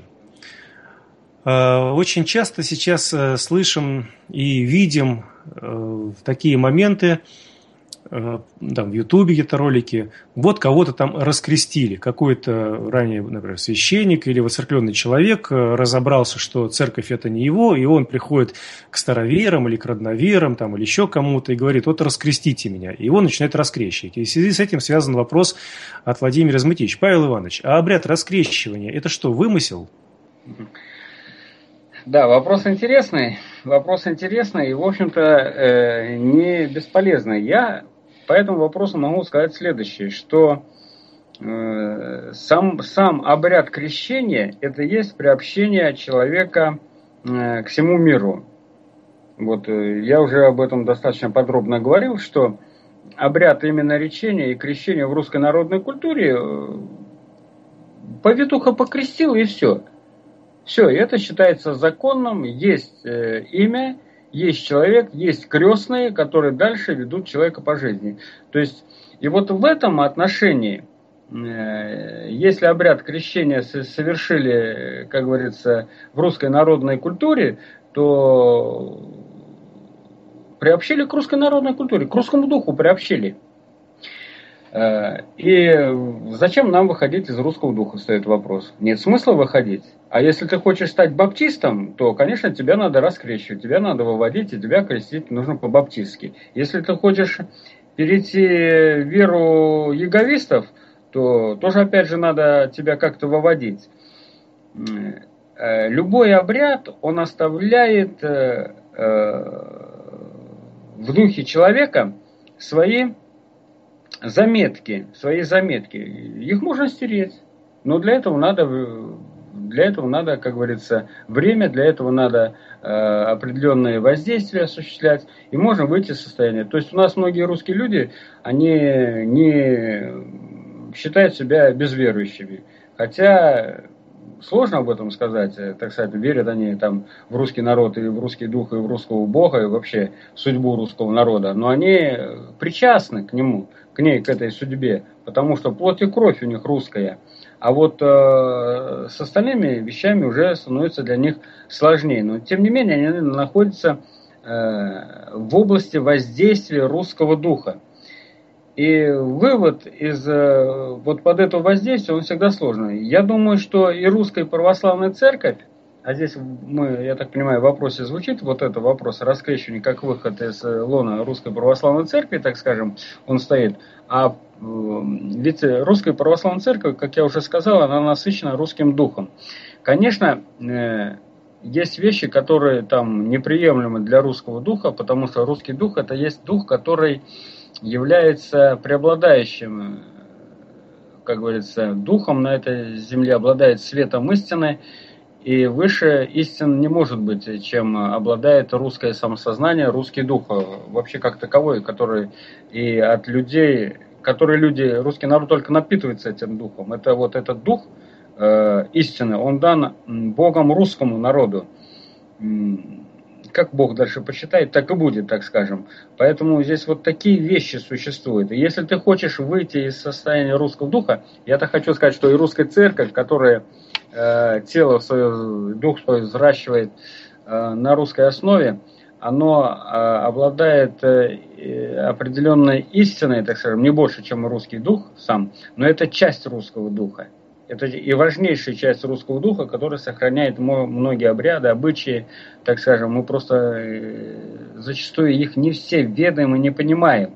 И это наша беда а, э, людей советского времени и нынешнего времени.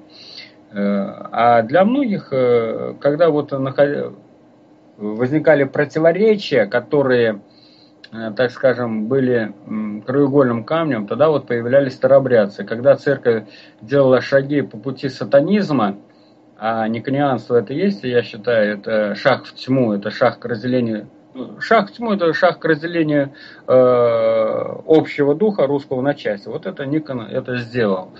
Вот. Здесь вот, конечно, мы начинаем острее ощущать того, что вот эта часть русского духовного мира, как русская православная церковь, она подвержена большему влиянию э, темных сил. Вот. Э, и это мы должны понимать.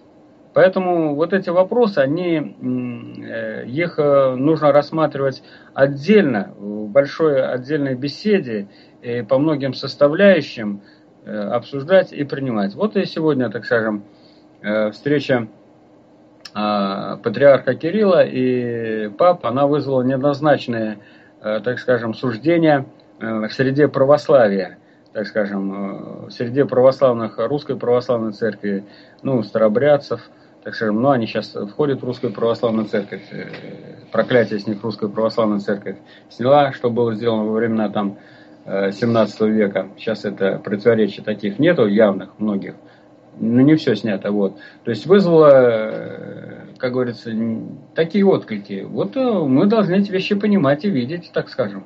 Поэтому-то и русская народная культура, она является самодостаточным явлением, которое стоит над э, всеми, как говорится, церквами, над всеми конфессиями, которые э, укрепляются иногда на теле русского народа. Вот так я отвечу. Мало того, сейчас некоторые представители Русской Православной Церкви подписали договор о создании новой э, мировой религии, которая там не все так однозначно в их уставе, в этой религии. Ну ладно, отдельный, отдельный разговор. Перед музыкальной паузой хочется еще отметить, что когда мы говорим о том, что если уничтожается русский язык, слова коверкуются и привносятся что-то иностранное, то в этом случае мне вспоминается один разговор э, со священником Русской Православной Церкви, где ему был задан вопрос, если вы говорите, что вы русские, то почему тогда, и вы родитесь за Русь, то почему тогда в ваших службах, в ваших э, имя наречениях, ну, то, что называется, крещениях, присутствуют иностранные слова, иностранные имена, и греческие, и, и иудейские, и так далее. А, ну, вон так, ну это традиция. Ну, традиция традиции, но ведь вы же сами до этого то же самое говорили, что русский язык за, забит иностранными словами, а любое иностранное слово, она несет свой отпечаток, уничтожает родное. И потом был еще один задан вопрос, э, тоже так приватный. Э, его спросили, а как вы относитесь к тому, что, например, вот ваш род будет, э, ну, скажем так, смешиваться с другими родами не из вашей расы? Батюшка так возмутился, сказал, ну, я не допущу этого, мои дети, вот они белые, они должны оставаться белыми. Ему говорят, ну как, вот, например, китаец придет на вашу дочь замуж возьмет, или там ваш сын возьмет негритянку. Нет, нет, такого не может быть, это я не допущу. А тогда ему кто-то из зала встал и спросил, а если китайцы негр будут христианами?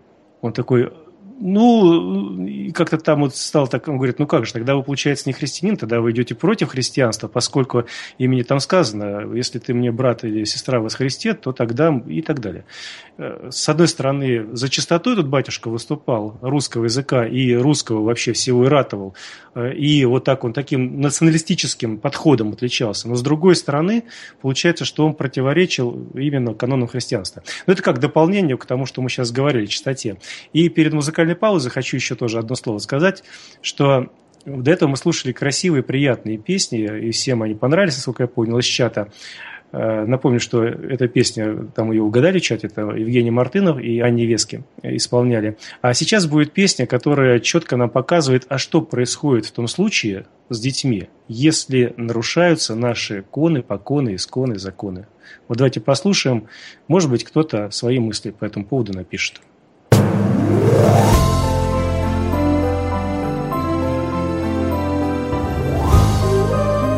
В эфире Народное славянское радио. Ответы на вопросы.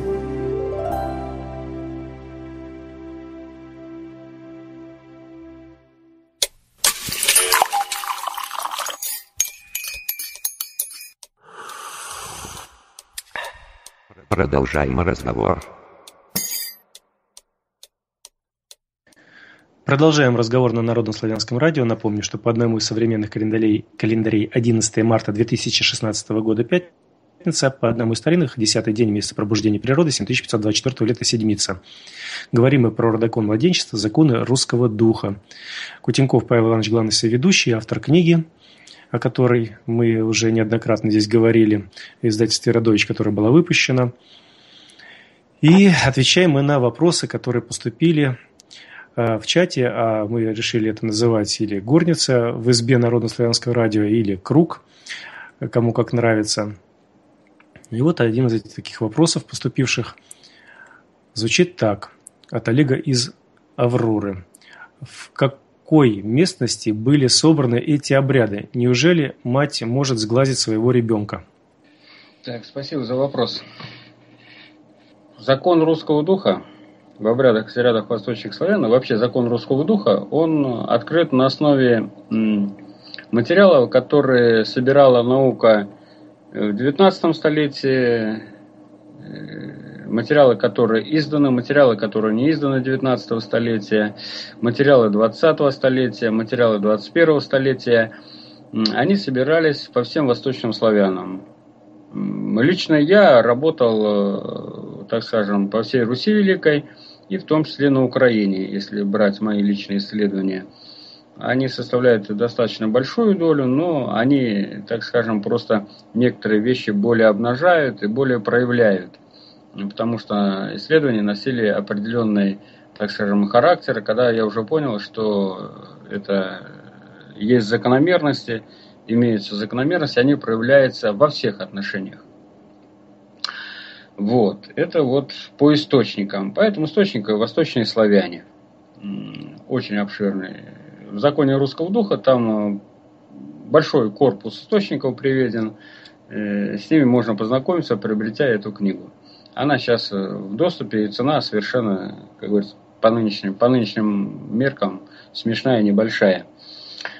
Теперь по сглазу матери. Это более существенный вопрос. Ну, вы знаете, от того, что человек э, обладает сильным взглядом, отец он или мать, э, от этого не влияет. Ведь э, если человек, так скажем, что-то делает хорошее или что-то плохое в отношении чего-то. Ну, можно, так сказать, вот привести пример, так скажем, из области вот металловедения, да, допустим, льет сталевара сталь. Ну, нужна им какая-то марки литья. Вот он добавляет, так скажем, делает высоколегированную сталь. Молибден, вольфрам, нехром – и прочие добавки, серебро там добавляет и так далее, и так далее. И получается сталь то, что он хочет. Он ее льет, он ее выливает. Или кузнец, когда кует дамасскую сталь, он ее кует, он закладывает, он делает. Вот он влияет. Точно так же и мать. Понимаете нет? Взаимодействие э, закона русского духа, отношения матери и дитя, она основана на том, чтобы дитё стало самостоятельным, самостоятельным или а можно сделать так, что ее ребенка привязать к матери или только к отцу привязать. Но к отцу это сложнее, а можно к матери привязать так, что ребенок будет до 50 лет детем. Вот, э, так скажем, это тоже возможно. И русская народная культура эти вещи знает и достаточно широко, а сейчас они особенно, э, так скажем, когда человек потерял знания Э, русского закона от него отняли, не потерял, а отняли у него эти знания. У нас получается, мужчина 50 лет, он еще ребенок, ему еще, как говорится, ходит за мамкой он, не имея ни семьи, ни детей. Ну, а по-русски говорят трутень, да? Вот. Поэтому вопрос э, воздействия Вопрос воздействия биополей, которое сегодня уже достаточно хорошо изучено, вопрос воздействия э, других, как говорится, человеческих возможностей, он может быть не совсем изучен в науке, но он хорошо известен в русской народной культуре. И, а русская народная культура – это полнота бытия человека, это полнота знаний о мире. То, что было известно человеку, как тысячи тысячи лет, наука сегодня до этих вещей только доходит.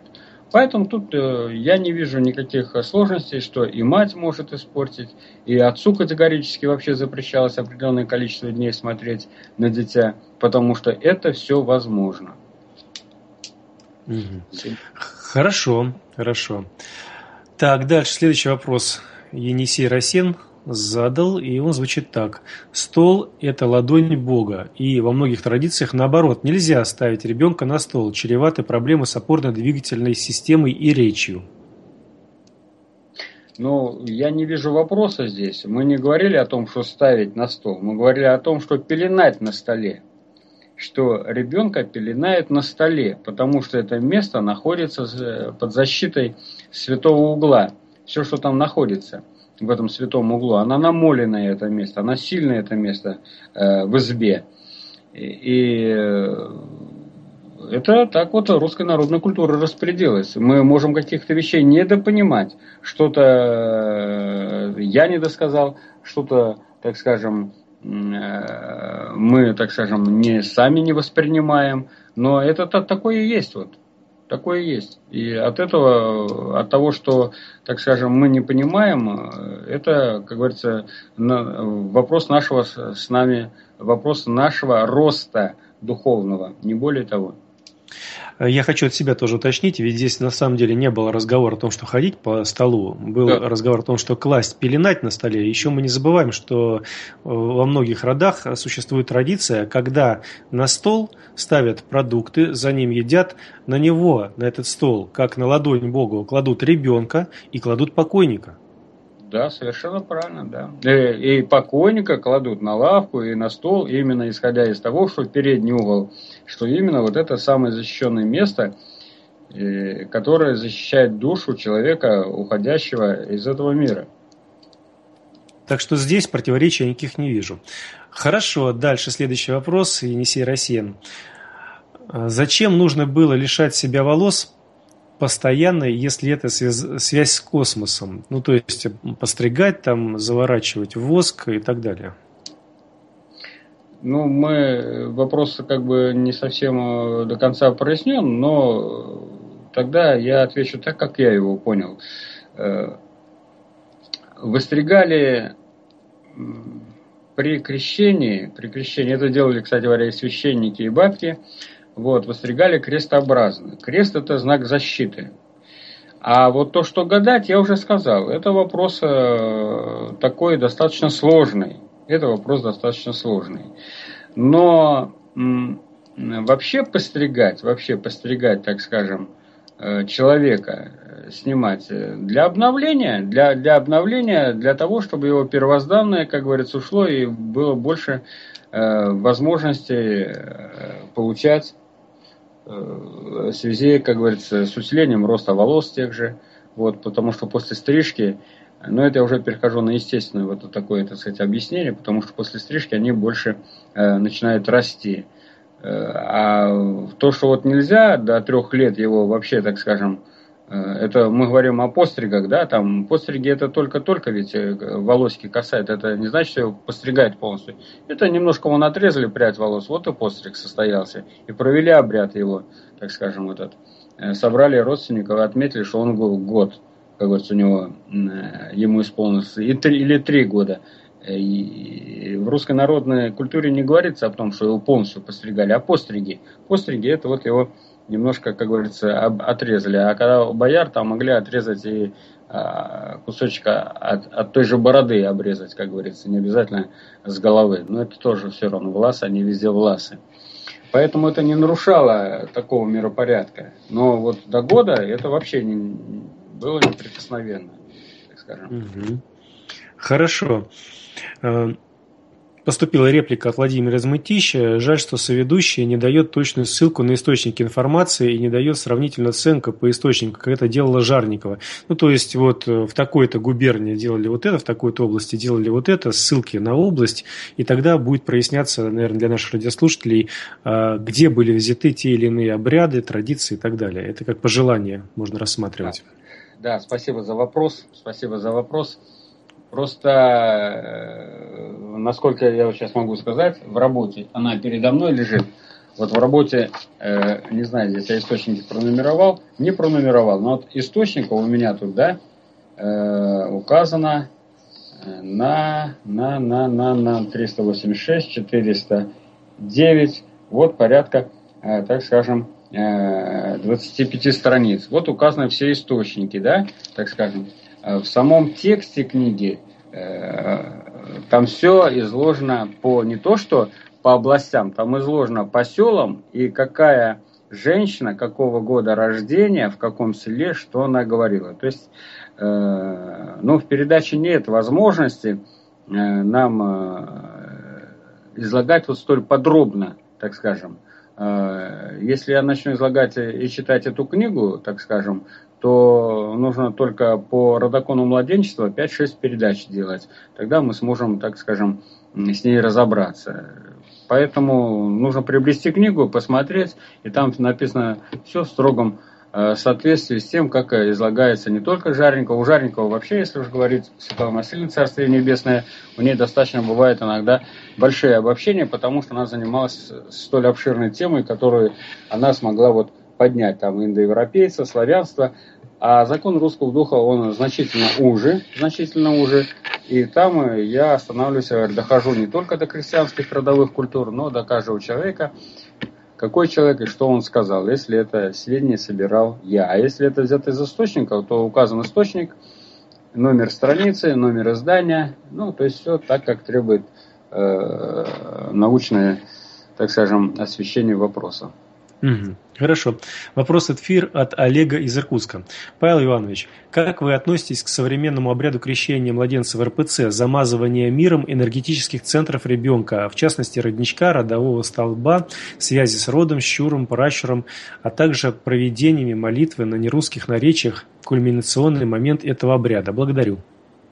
Как я отношусь? Я отношусь так, что считаю, что обряды погружения должны выполняться в роду, должны выполняться в роду и должны выполняться в тех, э, так скажем, де, выполняться теми действиями, которыми они нам э, известны. Если же э, проводятся те обряды, которые закрывают доступ человеку к божественной благодати, то, конечно, эти обряды желательно не принимать. Вот договоритесь, наложат на вас анафему. Хорошо. Следующий вопрос. в эфир от Андрея из Екатеринбурга. Про макаш расскажите, когда для ребенка формируется нить? И еще раз. Андрей задает вопрос из Екатеринбурга. Про макаш расскажите, когда для ребенка формируется нить. Ну вот здесь упоминались Лада, Леля, Полея, а еще существует макаш, у нее дочери доля, не доля, или еще называют мокаш, и встреча, и несреча. Вот э, понимаете ли это? Есть разные народы славянские, есть на, э, разные народы славянские, есть разные ипостаси бабы божественной, да? Вот есть э, Творец, Вседержитель, ну, у славян он называется иногда Род, иногда Свара. Вот, э, имя так же, как и у других богов, у других, как говорится, конфессиях, свои имена богов, и зачастую несколько, так и у нас самый, да, вот Творец. Его божественная ипостась – это баба. Баба, то есть это имя собственное, да? Ну, я обычно объясняю так, вот есть Брахман э, в индуизме, э, такой древний первобог, вседержитель, и есть у него творческое начало шакти, такое вот сотворяющее начало, проявляющееся во многих, как говорится, сторонах бытия. Она творит. Не Брахман творит, а она шакти. У нас вот творит баба.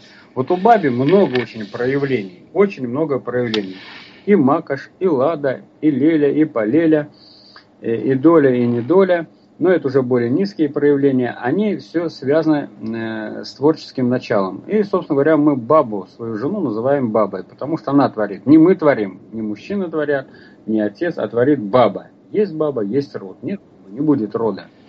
Вот, поэтому э, судьба, судьба, так скажем, когда э, девка придет нить, придет нить и находится в хорошем правильном, не в хорошем, а в правильном настроении, в правильном умонастроении, в правильном чувственном настроении, в правильном обрядовом состоянии, она э, вот э, сотворяет вот эти нити, которые э, в дальнейшем приведут к тому, что будет получена та душа, которую она и спрашивала, а уже душа будет определять возможности, многие возможности человека при правильном отношении родителей – и окружающего мира. Вот так вот. Меня здесь поправляют в чате, что анафему не налагают, анафеме предают или подвергают. Благодарю за уточнение. Хорошо. Ну, то, что называется, хрен редьки не слаще. Дальше. Вопрос в эфир от Данила. Здравия соведущим. Павел Иванович, обязательно ли санитарно-гигиеническая обработка, стирка Э, породовых вещей матери или отца при использовании в последующих родах. Заранее извиняюсь за дотошность и конкретику. Благодарю за ответ.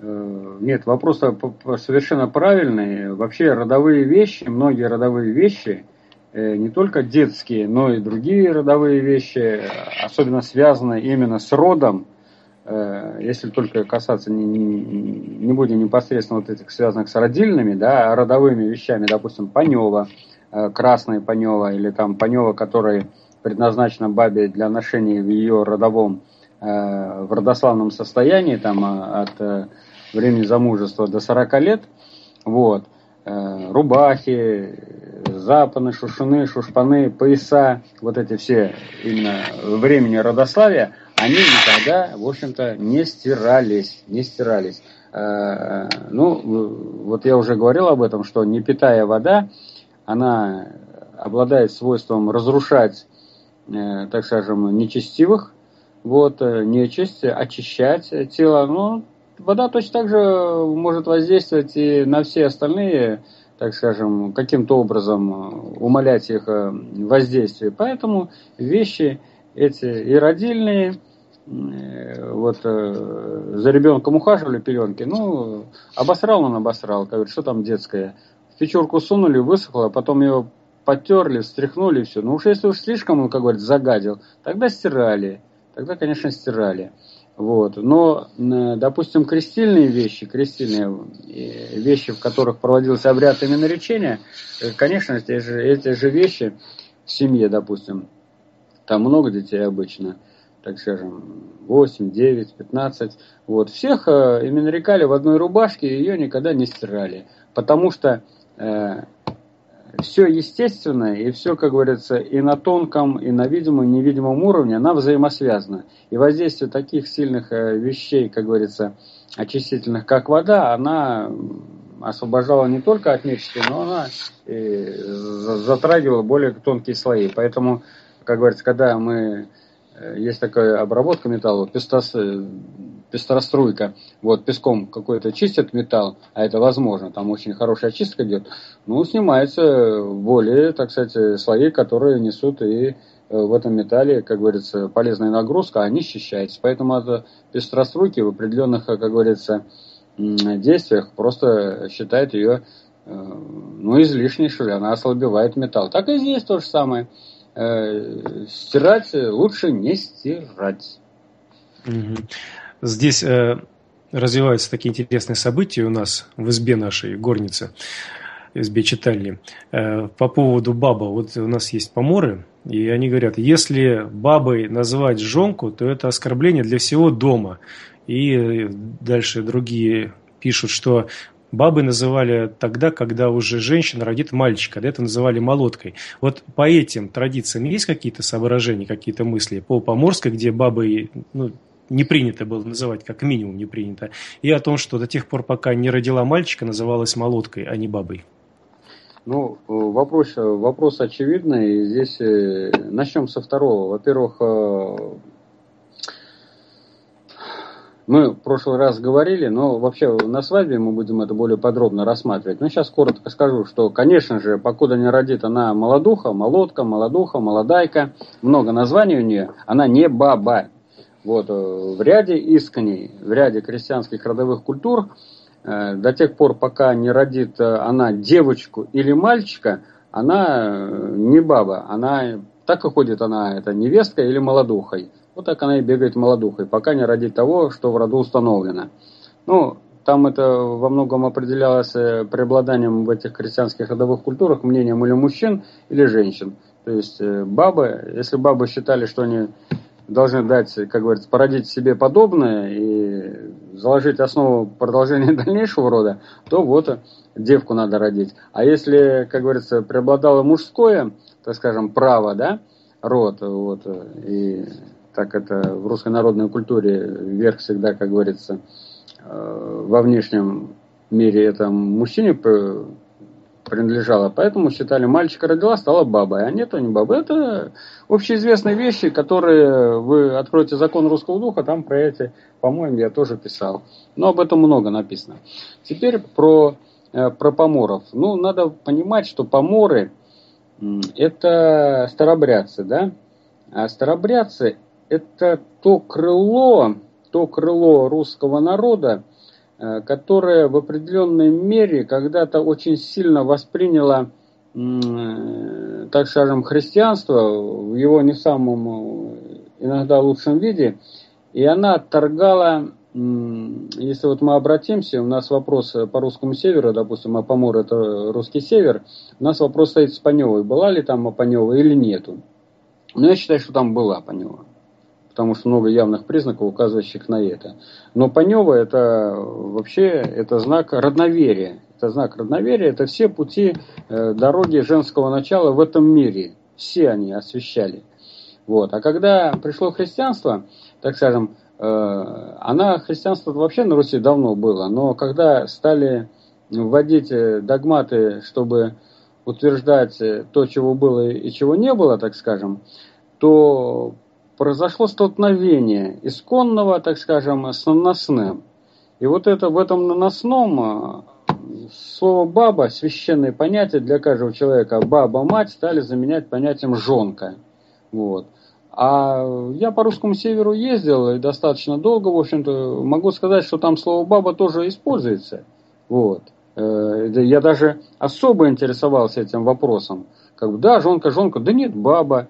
Вот, потом говорят – Баба тоже использовалась. Потому что жонка это вообще э, такое слово, как бы, э, оно вроде как бы женщина, но женщина это не родославное состояние. Это не родославное. А баба, да, это творящее начало, это творческое начало, это вообще верховное творящее начало.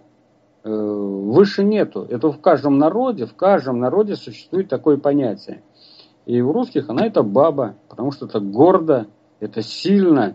А как можно вышить, как можно вообще назвать женское начало, э, каким словом можно ее обозначить, чтобы она была выше э, божественного творческого начала? Нет, таких слов. Баба, она есть баба.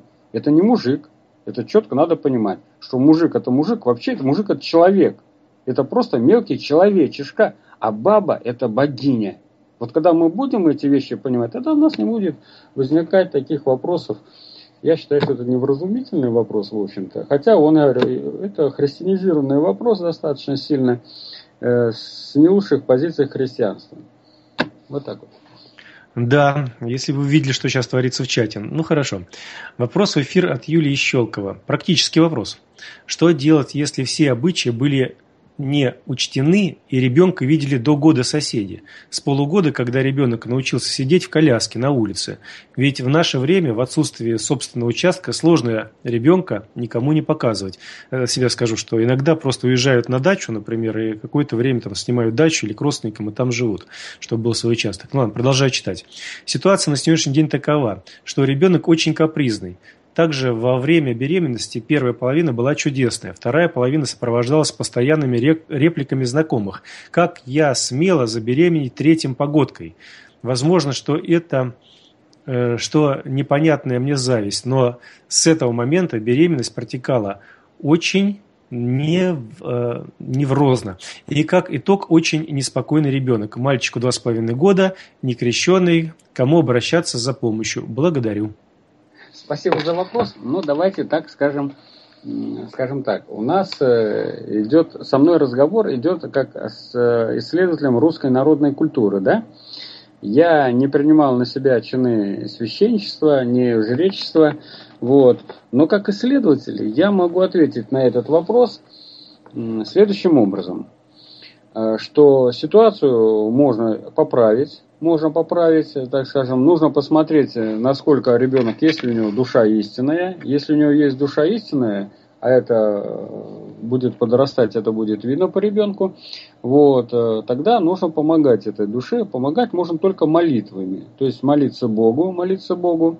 Вот, во-первых, еще три года его не надо до трех лет вообще ребенка, как я уже сказал, на этом стоит закон русского духа, то есть его его, ну, закон, он есть закон, его там принимаем мы не принимаем. Не принимаем, значит, получаем тогда то, как говорится, удара судьбы. Поэтому нужно до трех лет ребенка нужно оградить. Насколько это возможно, настолько это нужно делать. Его оградить от чужих взглядов, чтобы на него чужие не смотрели. И молиться Богу. Молиться Богу, просить Бога, чтобы Бог, как говорится, дал силы, возможности поставить э, сына, э, так скажем, ну как просить, чтобы вернул его в русло нормального развития, божественного развития, человеческого, как это положено человеку, идти по своей судьбе, а не по судьбе, как говорится, навеянной темными силами. Mm-hmm. А то, что погодки сейчас, а то, что погодки, вот, э, ну это не, не совсем хорошо, потому что роженица должна окрепнуть для того, чтобы зачинать новые души, чтобы принимать себя. И этот вопрос тоже может сыграть. Э, погода рожать не очень. В русской народной культуре это не, это не приветствуется. Вот именно исходя из закона, закон сегодня, закон русского духа дает нам возможности пояснить, почему нельзя рожать погода. Ну, родились, родились. Главное, чтобы был зачат после 40 дня все же. Потому что до 40 дня зачатие категорически воспрещено. Это самой роженице будет э, мешать и ребенку. Поэтому здесь надо посмотреть, какой у вас Э, погодка. А если есть э, нарушение, значит нужно идти к сильным людям, которые э, вы зачали до 40 дня, значит идти нужно к сильным людям и, как говорится, просить вразумительного совета по этому поводу, или к старцам монастыря идти, или еще, как я сказал, к жрецам идти к русским. Они вам помогут.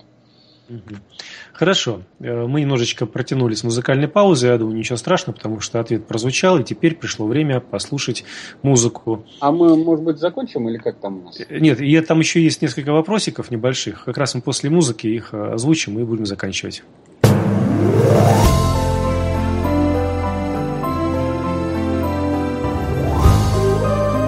В эфире Народное славянское радио. Ответы на вопросы.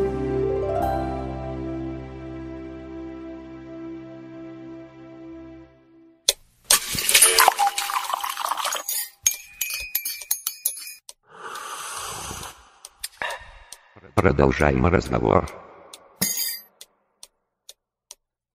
Продолжаем разговор на Народном славянском радио. Переходим в заключительную стадию. Последние вопросы дочитываем. Напомню, что сегодня у нас 11 марта 2016 года, пятница. По одному из современных календарей, по одному из старинных, 10 день месяц пробуждения природы, 7524 лета, седмица. Родокон младенчества, закон русского духа. Тема сегодняшнего эфира, главный сведущий Кутенков Павел Иванович. И чтобы не затягивать, переходим последним нашим вопросам, как я обещал. Ингварь, вопрос в эфир. Насколько я понимаю, христиан, христиане просто не признавали крещение в чужой конфессии, крестили по-своему. Откуда же обряды раскрещивания, где же их описание в богословских книгах? А, хорошо, спасибо за вопрос. Э, я бы хотел коснуться продолжения, во-первых, вопроса там, женщина задавала насчет вот, э, дитя. Я, может быть, немножко слукавил. Я хотел, хочу сказать, что э, человек, который пишет книги и, так скажем, выступает с определенных позиций народной культуры, конечно, он уже берет на себя обязанность э, что-то нести, так скажем. Поэтому, может быть, в этом отношении я и не совсем прав, так скажем, что советы давать или не давать, но вот э, давать советы только с позиции именно народного знания, который я исследую, который я изучаю, и который считаю, что я, может быть, э, что-то узнал больше, чем обычный человек. Ну, по крайней мере, до тех пор, покуда я не занимался русской народной культурой, имея кучу, говорят, дипломов о высших различных образований, я просто не касался этого вопроса. Поэтому я подозреваю, что огромное количество людей точно так же не касалось.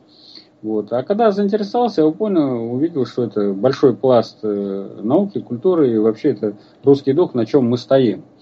Вот. Поэтому вот с этих позиций, я думаю, советы можно э, высказывать их, свои, так сказать, мнения по этому поводу. Вопрос э, опять звучит, который расчет раскрещивания. Я не занимался вопросами раскрещивания и не занимался исследованием соотношения взаимоотношений конфессий, так скажем. Если же брать вопрос крещения, вопрос крещения, то э, непосредственно, то э, позиция русской православной церкви в этом отношении, она достаточно э, не строго очерченная. На какой день крестите? Вот, э, так скажем, на восьмой или на сороковой или день? Вот, э, это, в общем-то, так скажем, ну, нет здесь э, четкой ясности, э, хотя есть определенные установки. Э, если мы посмотрим по старообрядцам, по старообрядцам вот, которые несут более древний пласт в отношении, так сказать, существующей русской православной церкви, которые какие-то части, может быть, старообрядчества и не вошли в лоно русской православной церкви, там у них тоже единства по этому вопросу нет. Есть есть вопросы, есть старобрядцы, которые вообще крестятся, э, подходя к концу жизненного пути. То есть э, обряд крещения не является, э, видимо, и с самого начала не являлся обрядом приобщения, так скажем, к вере или к невере. Да?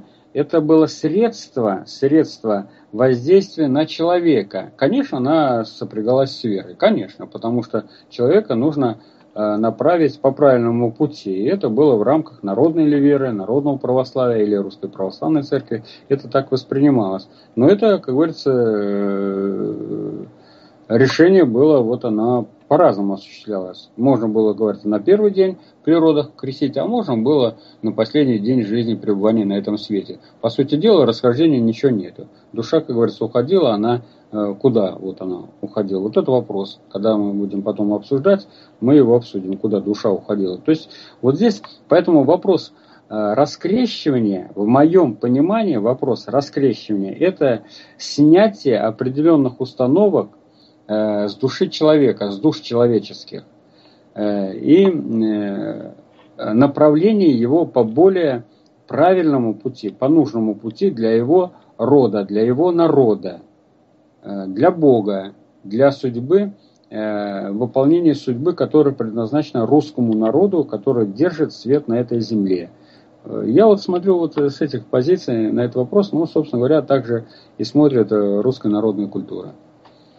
Хорошо, еще несколько вопросов озвучим, и уже вопросы больше не принимаю, сразу предупреждаю, чтобы не затягивать эфир. А, Геннадий Ствери пишет, прошу извинить, был занят, слушал с перерывами. Если у мамы нет молока или оказалось, отказалась кормить грудью, чем кормить ребенка? И со скольки лет нужно давать ту пищу, что ешь сам? А, ну, русская народная культура стоит на тех позициях, что младенца э, надо кормить естественной пищей. Это первое. Молоком э, роженицы кормили обычно до года. В других э, христианских родовых культурах допускалось кормить и э, до полутора, до двух лет, до трех лет. Ну, обычно говорят, там два поста, имеется в виду великих, э, нужно там откормить, или три поста, так скажем. То есть вот, э, ну, трехлетие, это крайний срок, до которых можно кормить. А так, два поста откормил, там полтора года где-то получается, ну, в среднем вот, и все. Нету молока, все может быть. Значит, э, в русской народной культуре брали молоко у других рожениц, если такие были, допустим, да, так скажем, допускалось молочные братья, молочные сестры. Нету, значит, э, естественная пища. Естественная пища это э, хлеб, так скажем, хлеб ржаной, хлеб пшеничный, которые, как говорится, жевали, размякивали и давали ребенку сосать. Но пища должна быть естественная и легкая. Мясом кормить, естественно, младенца нельзя. Вот так вот. Хорошо. Владимир Изматич задает вопрос. Скорее всего, даже реплика. Павел Иванович, ну теперь точно вашу книгу куплю, прочитаю, супруге скажу ее читать. Спасибо. Дальше. Ингварь. Вопрос в эфир. Традиция крещения предусматривает сокрытие обряда от родителей. Э, как же можно в роду все это делать? Это же уже секта какая-то получится. Я не совсем понял вопроса, так скажем, но если, насколько я понял, вопрос сокрытия. Во-первых, если обряд крещения, который проводили, именно речение, то имя, которое, ведь вопрос здесь состоит, э, если в имени, то имя, которое давали, то давали родители. И знали только родители и повитуха. Все, вот три человека, которые, отец, матери и повитуха, знали истинное э, имя. А потом, а так его называли каким-то другим именем, потому что вопрос имени – это вопрос воздействия на человека. Вот. Э, но при самом обряде именно речения мать никогда не допускалась ввиду своей нечистотности. Если ребенка, естественно, именно нарекали до 40 дней. Э, ну и до года, так скажем. В любом случае, мать находилась в состоянии переходном, нечистотном, поэтому ее не допускали. Так что я здесь э, как-то, э, может быть, что-то я не уловил в вопросе, или он не совсем был досказан. Понятно. Хорошо, вопрос эфир. Женщина богиня, а мужик просто человек. Это же как э, кошке от собаки родить котенка и щеночка. Что-то не сходится. Такая реплика. Ну, я на реплику на это отвечу. Все сходится, понимаете ли? В природе у Бога все, как говорится, устроено так, как это есть. Понимаете ли? Вот баба это вот творящее начало. А человек, человек это управляющее, как говорится, э, суть э, на земле. Вот так вот Бог распорядился. Посмотрите, как говорится, на пчелок. Там вот э, пчелки кормят, кормят, кормят этих трутень, трутней. А что трутни от этого требуется? От, от трутни требуется только одно. Он э, совокупился с маткой, и все, и он погибал после этого. Вот он для чего его кормили, как говорят, могли кормить все лето. До тех пор, пока он не совокупится. Понимаете, нет? А у человека вот так вот распорядился. Баба творит, а муж управляет этим вопросом. Потому что так вот Бог распорядился, и мы этот вопрос, он достаточно тонкий, почему муж управляет. Но он есть человек, он не творящий начало, творящий начало баба. Она за душами ходит, она душ получает, она с ними работает. И не каждый человек имеет возможность проверить мышление своей жены. Но от мышления жены, от ее мыслей зависит продолжение рода этого мужа. Поэтому вот свадебный обряд, о котором мы будем говорить в следующий раз, он очень здесь важен. Является, как говорится, основополагающим продолжением рода. Поэтому все сходится. В русской народной культуре и закон русского духа, он, ну, нужно посмотреть всю книгу, почитать, э, чтобы понимать эти вещи. Я думаю, вот э, те, так скажем, выступления, которые я делаю, они не все раскрывают. Если ты знаешь тематику, да, они какие-то вещи обостряют. А так нужно читать книгу, нужно читать, нужно вникать. Нужно читать не только законы русского духа, нужно читать и, э, как говорится, пояснения к нему. Тогда будет все понятно. Хорошо, ну вот все вопросы, которые поступали, я зачитал. Еще о себя хочу уточнить. Буквально два вопроса коротеньких, чтобы нам уже как-то закончить уже э, по, по, по мыслям, да, вот так упорядочить. Э, мы говорили здесь очень часто про именно речение. Э, имя есть семейное, имя есть общинное, имя есть младенческое, имя есть тайное. То есть младенческое – это когда ребенку до определенного возраста давалось временное имя, а потом, когда он там подрастал, давалось уже постоянное имя. Вот в чем разница этих имен? Вообще встречаются такие понятия? Семейное, общинное, младенческое, тайное? Ну вот э, то, что, как говорится, ты сейчас говоришь, э, в русской народной культуре я с такими вещами не встречался. В русской народной культуре существует вот э, вообще в культуре существует понятие вот исконного имени, да, тайного имени, которое дается младенцу. И есть общее такое семейное, общее родовое имя, под которым его знают все. Вот. Собственно говоря, вот эти два имени, они широко известны. А так, э, в русской народной культуре она, конечно же, возраста отмечает именами. То, то есть, э, вот тоже свое имя, как говорится, он растет там Витенька, Сереженька, вот, э, там, а потом он Витя, или там Витек, потом Витя, а потом уже Виктор Иванович, да, то есть вот уже там с там 15-16 лет, как только его принимали Э, в молодежную среду женихов, у него уже появлялось отчество. То есть вот само, вот это общинное имя, первоначальное, вообще всем известно, она претерпевала несколько переходов, которые можно соотносить вот то, что, о чем ты и говоришь. Хорошо. И такой вопрос, который постоянно с передачи в передачу возникает, и в этой передаче тоже мы так косвенно дотронулись до него, коснулись. Язычество и родноверие или староверие? Это вот язычество, родноверие, староверие, это одно и то же или не одно и то же? Если одно и то же, то понятно, а если не одно и то же, то в чем разница? Вот э, давайте скажем так. Язычество – это понятие неясное, непонятное и плохое на понятие. Э, каждое слово обладает своей силой. Каждое слово вообще, каждое слово обладает силой. И э, русскому народу и каждому народу дан свой язык, э, где вот э, всякие звуки имеют свою силу, в том числе вот слова. И когда мы говорим язычество, это, в общем-то, не совсем, она русское слово, но она не совсем приложена, не к тому она приложена. То есть, если мы обзовем верблюда коровой, то верблюд не станет коровой или лошадь обзовем коровой, она не будет коровой, или овцу обзовем коровой, она не будет от этого. А здесь произошло так, вот что родную веру, нашу родную веру, исконную веру назвали язычеством. И потом, э, назвав язычеством, а это низкий уровень понимания э, одно, одной из сторон бытия народа. А его возвели, как бы, так скажем, на высшей э, ступеньку – приблизили к Богу, сказали, вот это типа божественное у них самое высокое, и начали по этому слову лупить. И лупят уже века. И вот это слово наполнили, так скажем, грязью. Э, а вообще, так сказать, и не по чину наполнили. Поэтому она изначально была не то. Вот есть родная вера. Родноверие, она родноверие. Вот и хотите лупить э, по родноверию сатанисты, вот лупите по родноверию. Но Э, слово родное, слово, связанное с родом, она никогда не может быть, э, так скажем, замусорено, замыслено, потому что как только мы говорим слово род, так мы сразу возвышаемся, мы сразу притягиваемся к Богу, мы сразу тянемся к свету. Потому что родная вера, что может быть сильнее? Родная вера, она есть родная вера. А язычество – это низкое понятие. Это вообще мало связано с верой людей.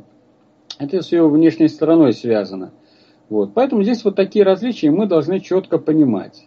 Э, вот это понимание. Как говорят, э, иногда даже говорят, как говорится, грязь э, там э, к, к золоту не пристанет. Да, вот она и, и здесь вот так вот. Так mm-hmm. То есть, получается... А староверие, а староверие это русское слово. Она сродни... Ну, кто... Тут также мы, мы сейчас окунемся в море понятий этих, так скажем, в море мышления. Один человек так мыслит, другой так. Староверы, старообрядцы, столоверы еще есть понятие. Вот. Э, это все, в общем-то, один может, один и тот же человек в это понятие может, разные люди могут вкладывать совершенно противоположные понятия. Так что, но это не вредные слова. То есть получается так, что родноверие, староверие это больше все-таки наше, нежели чем то, что сейчас многие себя называют язычниками и не понимают, что это такое. Так я понял, да? Да, да, совершенно верно. Как только человек себя называет язычником, это человек э, себя опускает к себе притягивает темные силы. Совершенно внешние. Это вот внешнее управление, а внешнее она не всегда светлая. Вот здесь, здесь есть э, определенные грани, которые нужно понимать. Поэтому, а когда он называет язычество, в наших условиях, когда мы понимаем, что под язычеством а, христианство, и не только христианство, а и а, другие, как говорится, эти времена, это слово а, забили вот это, я говорю, мутью, грязью, вот, болотом, поэтому человек, значит, э, себя отдает на откуп темным силам. Лучше с ним не связываться. Понятно. Ну и в заключение совсем последний уже личный мой интерес. А размывание рук, обряд, э, как он проводился? Это вообще долгий обряд? Можно так э, коротко сказать? Делали вот это, вот это и вот для этого? Это, это короткий обряд, то есть в определенное время, когда нужно было повитухе в основном выйти ну, сороковой день в любом случае проводился. Вот. Э, то есть э, собиралось, э, кто принимал роды, кто принимал роды. Вот повитуха, могла там присутствовать свекровь, там или еще кто-то какая-то, там могли две повитухи присутствовать. Поэтому обряд тут в зависимости, опять же, сколько человек присутствовало. Вот все они собирались и брали непитую воду, и с определенными словами, так скажем, э, лили друг на другу. Сперва, допустим, повитуха роженицы, потом роженица повитухи, потом брызгали на младенца непитую воду, потому что она не мог, как говорят, лить ни тому, ни другому. Повитуха брызгала на него, так скажем, и все как бы происходило э, вот э, размывание рук, происходило очищение. Это обряд очищения. Вода выливалась Э, после этого туда, где не ходят люди. Потому что, так скажем, все чистое и нечистое, все этой водой сливалось в тазик и выплескивалось ну, навоз, где обычно там. Или под передний угол. Вот. Там, так вот, где не ходили, в общем. Или под яблоню, как часто говорят. Вот так вот это, это такой обряд. Но это обряд. То есть он, э, это вот внешнее, так скажем, очищение, еще внутреннее. То есть люди были готовы, подготовлены к тому, чтобы провести обряд размывания рук. Благодарю. Ну что ж, у нас получилась довольно цельная передача со своим вступлением и логическим окончанием, правильным окончанием. Слово логическое тоже здесь можно на русское заменить какое-нибудь, да? Да. Вот. И, наверное, надо подвести уже итог сегодняшний, вот окончание уже, сказать наш, нашим радиослушателям что-то доброе, вечное, красивое. Да? Я хочу сказать э, слушателям, уважаемым сударям, сударыням, что сейчас идет масленичная неделя, э, что нужно все обряды, которые предписаны этой масленичной неделе, нужно, так скажем, их э, приобщаться к ним, надо участвовать в этом.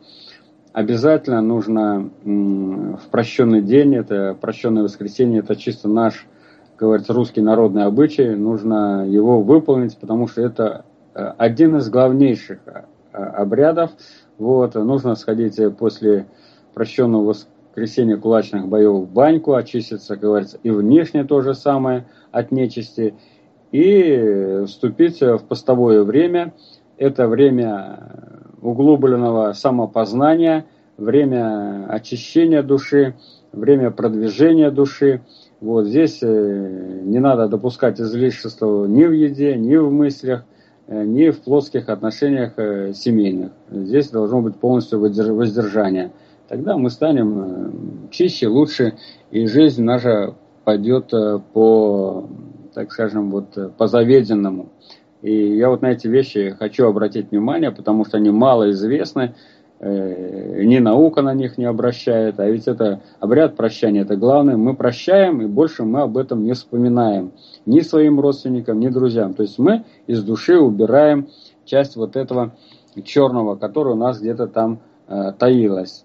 И нас прощает, и мы прощаем. И нужно попросить, конечно, глава семьи или мать должна попросить прощения у земли, э, у природы, у окружающих, что мы нанесли, какие обиды, какие неправильные действия. За все нужно просить прощения. Это все снимать себя нужно. И вот это я говорю, что пост это, конечно, мысли, прежде всего, это, конечно, вот э, духовное, духовное познание самого себя. И здесь э, нужно уметь учиться нашу плотскую силу и яру переводить, силу и яру, ярую силу плотскую переводить вот э, в духовную. Это вот это вот это задача, так скажем, прощенного дня, и потом пост вот этот вот великий пост, это древнейший славянский пост, который успешно перешел и переведен э, в православие, и он работает во благо э, русского народа и русского духа. Благодарю за внимание.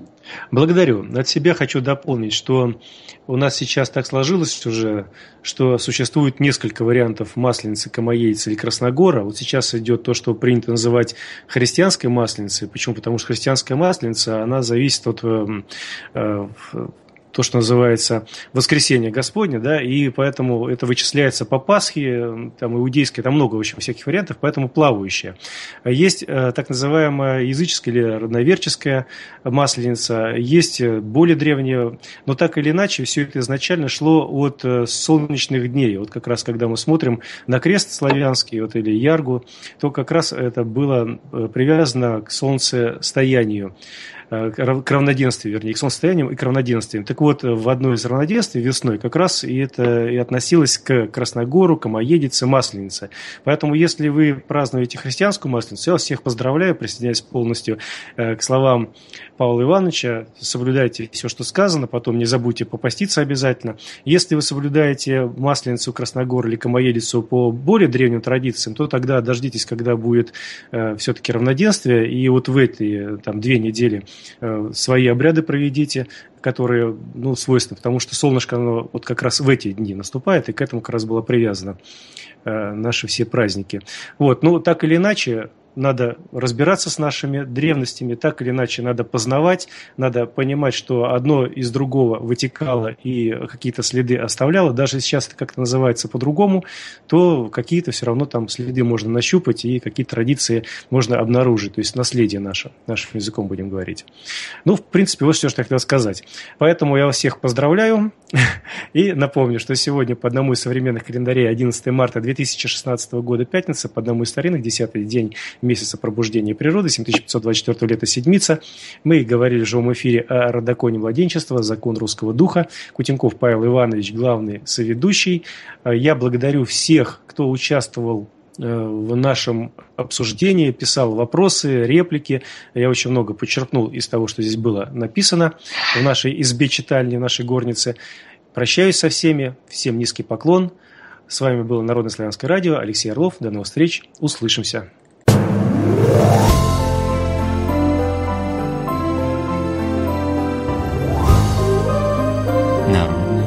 Славянское радио для пытливых умов.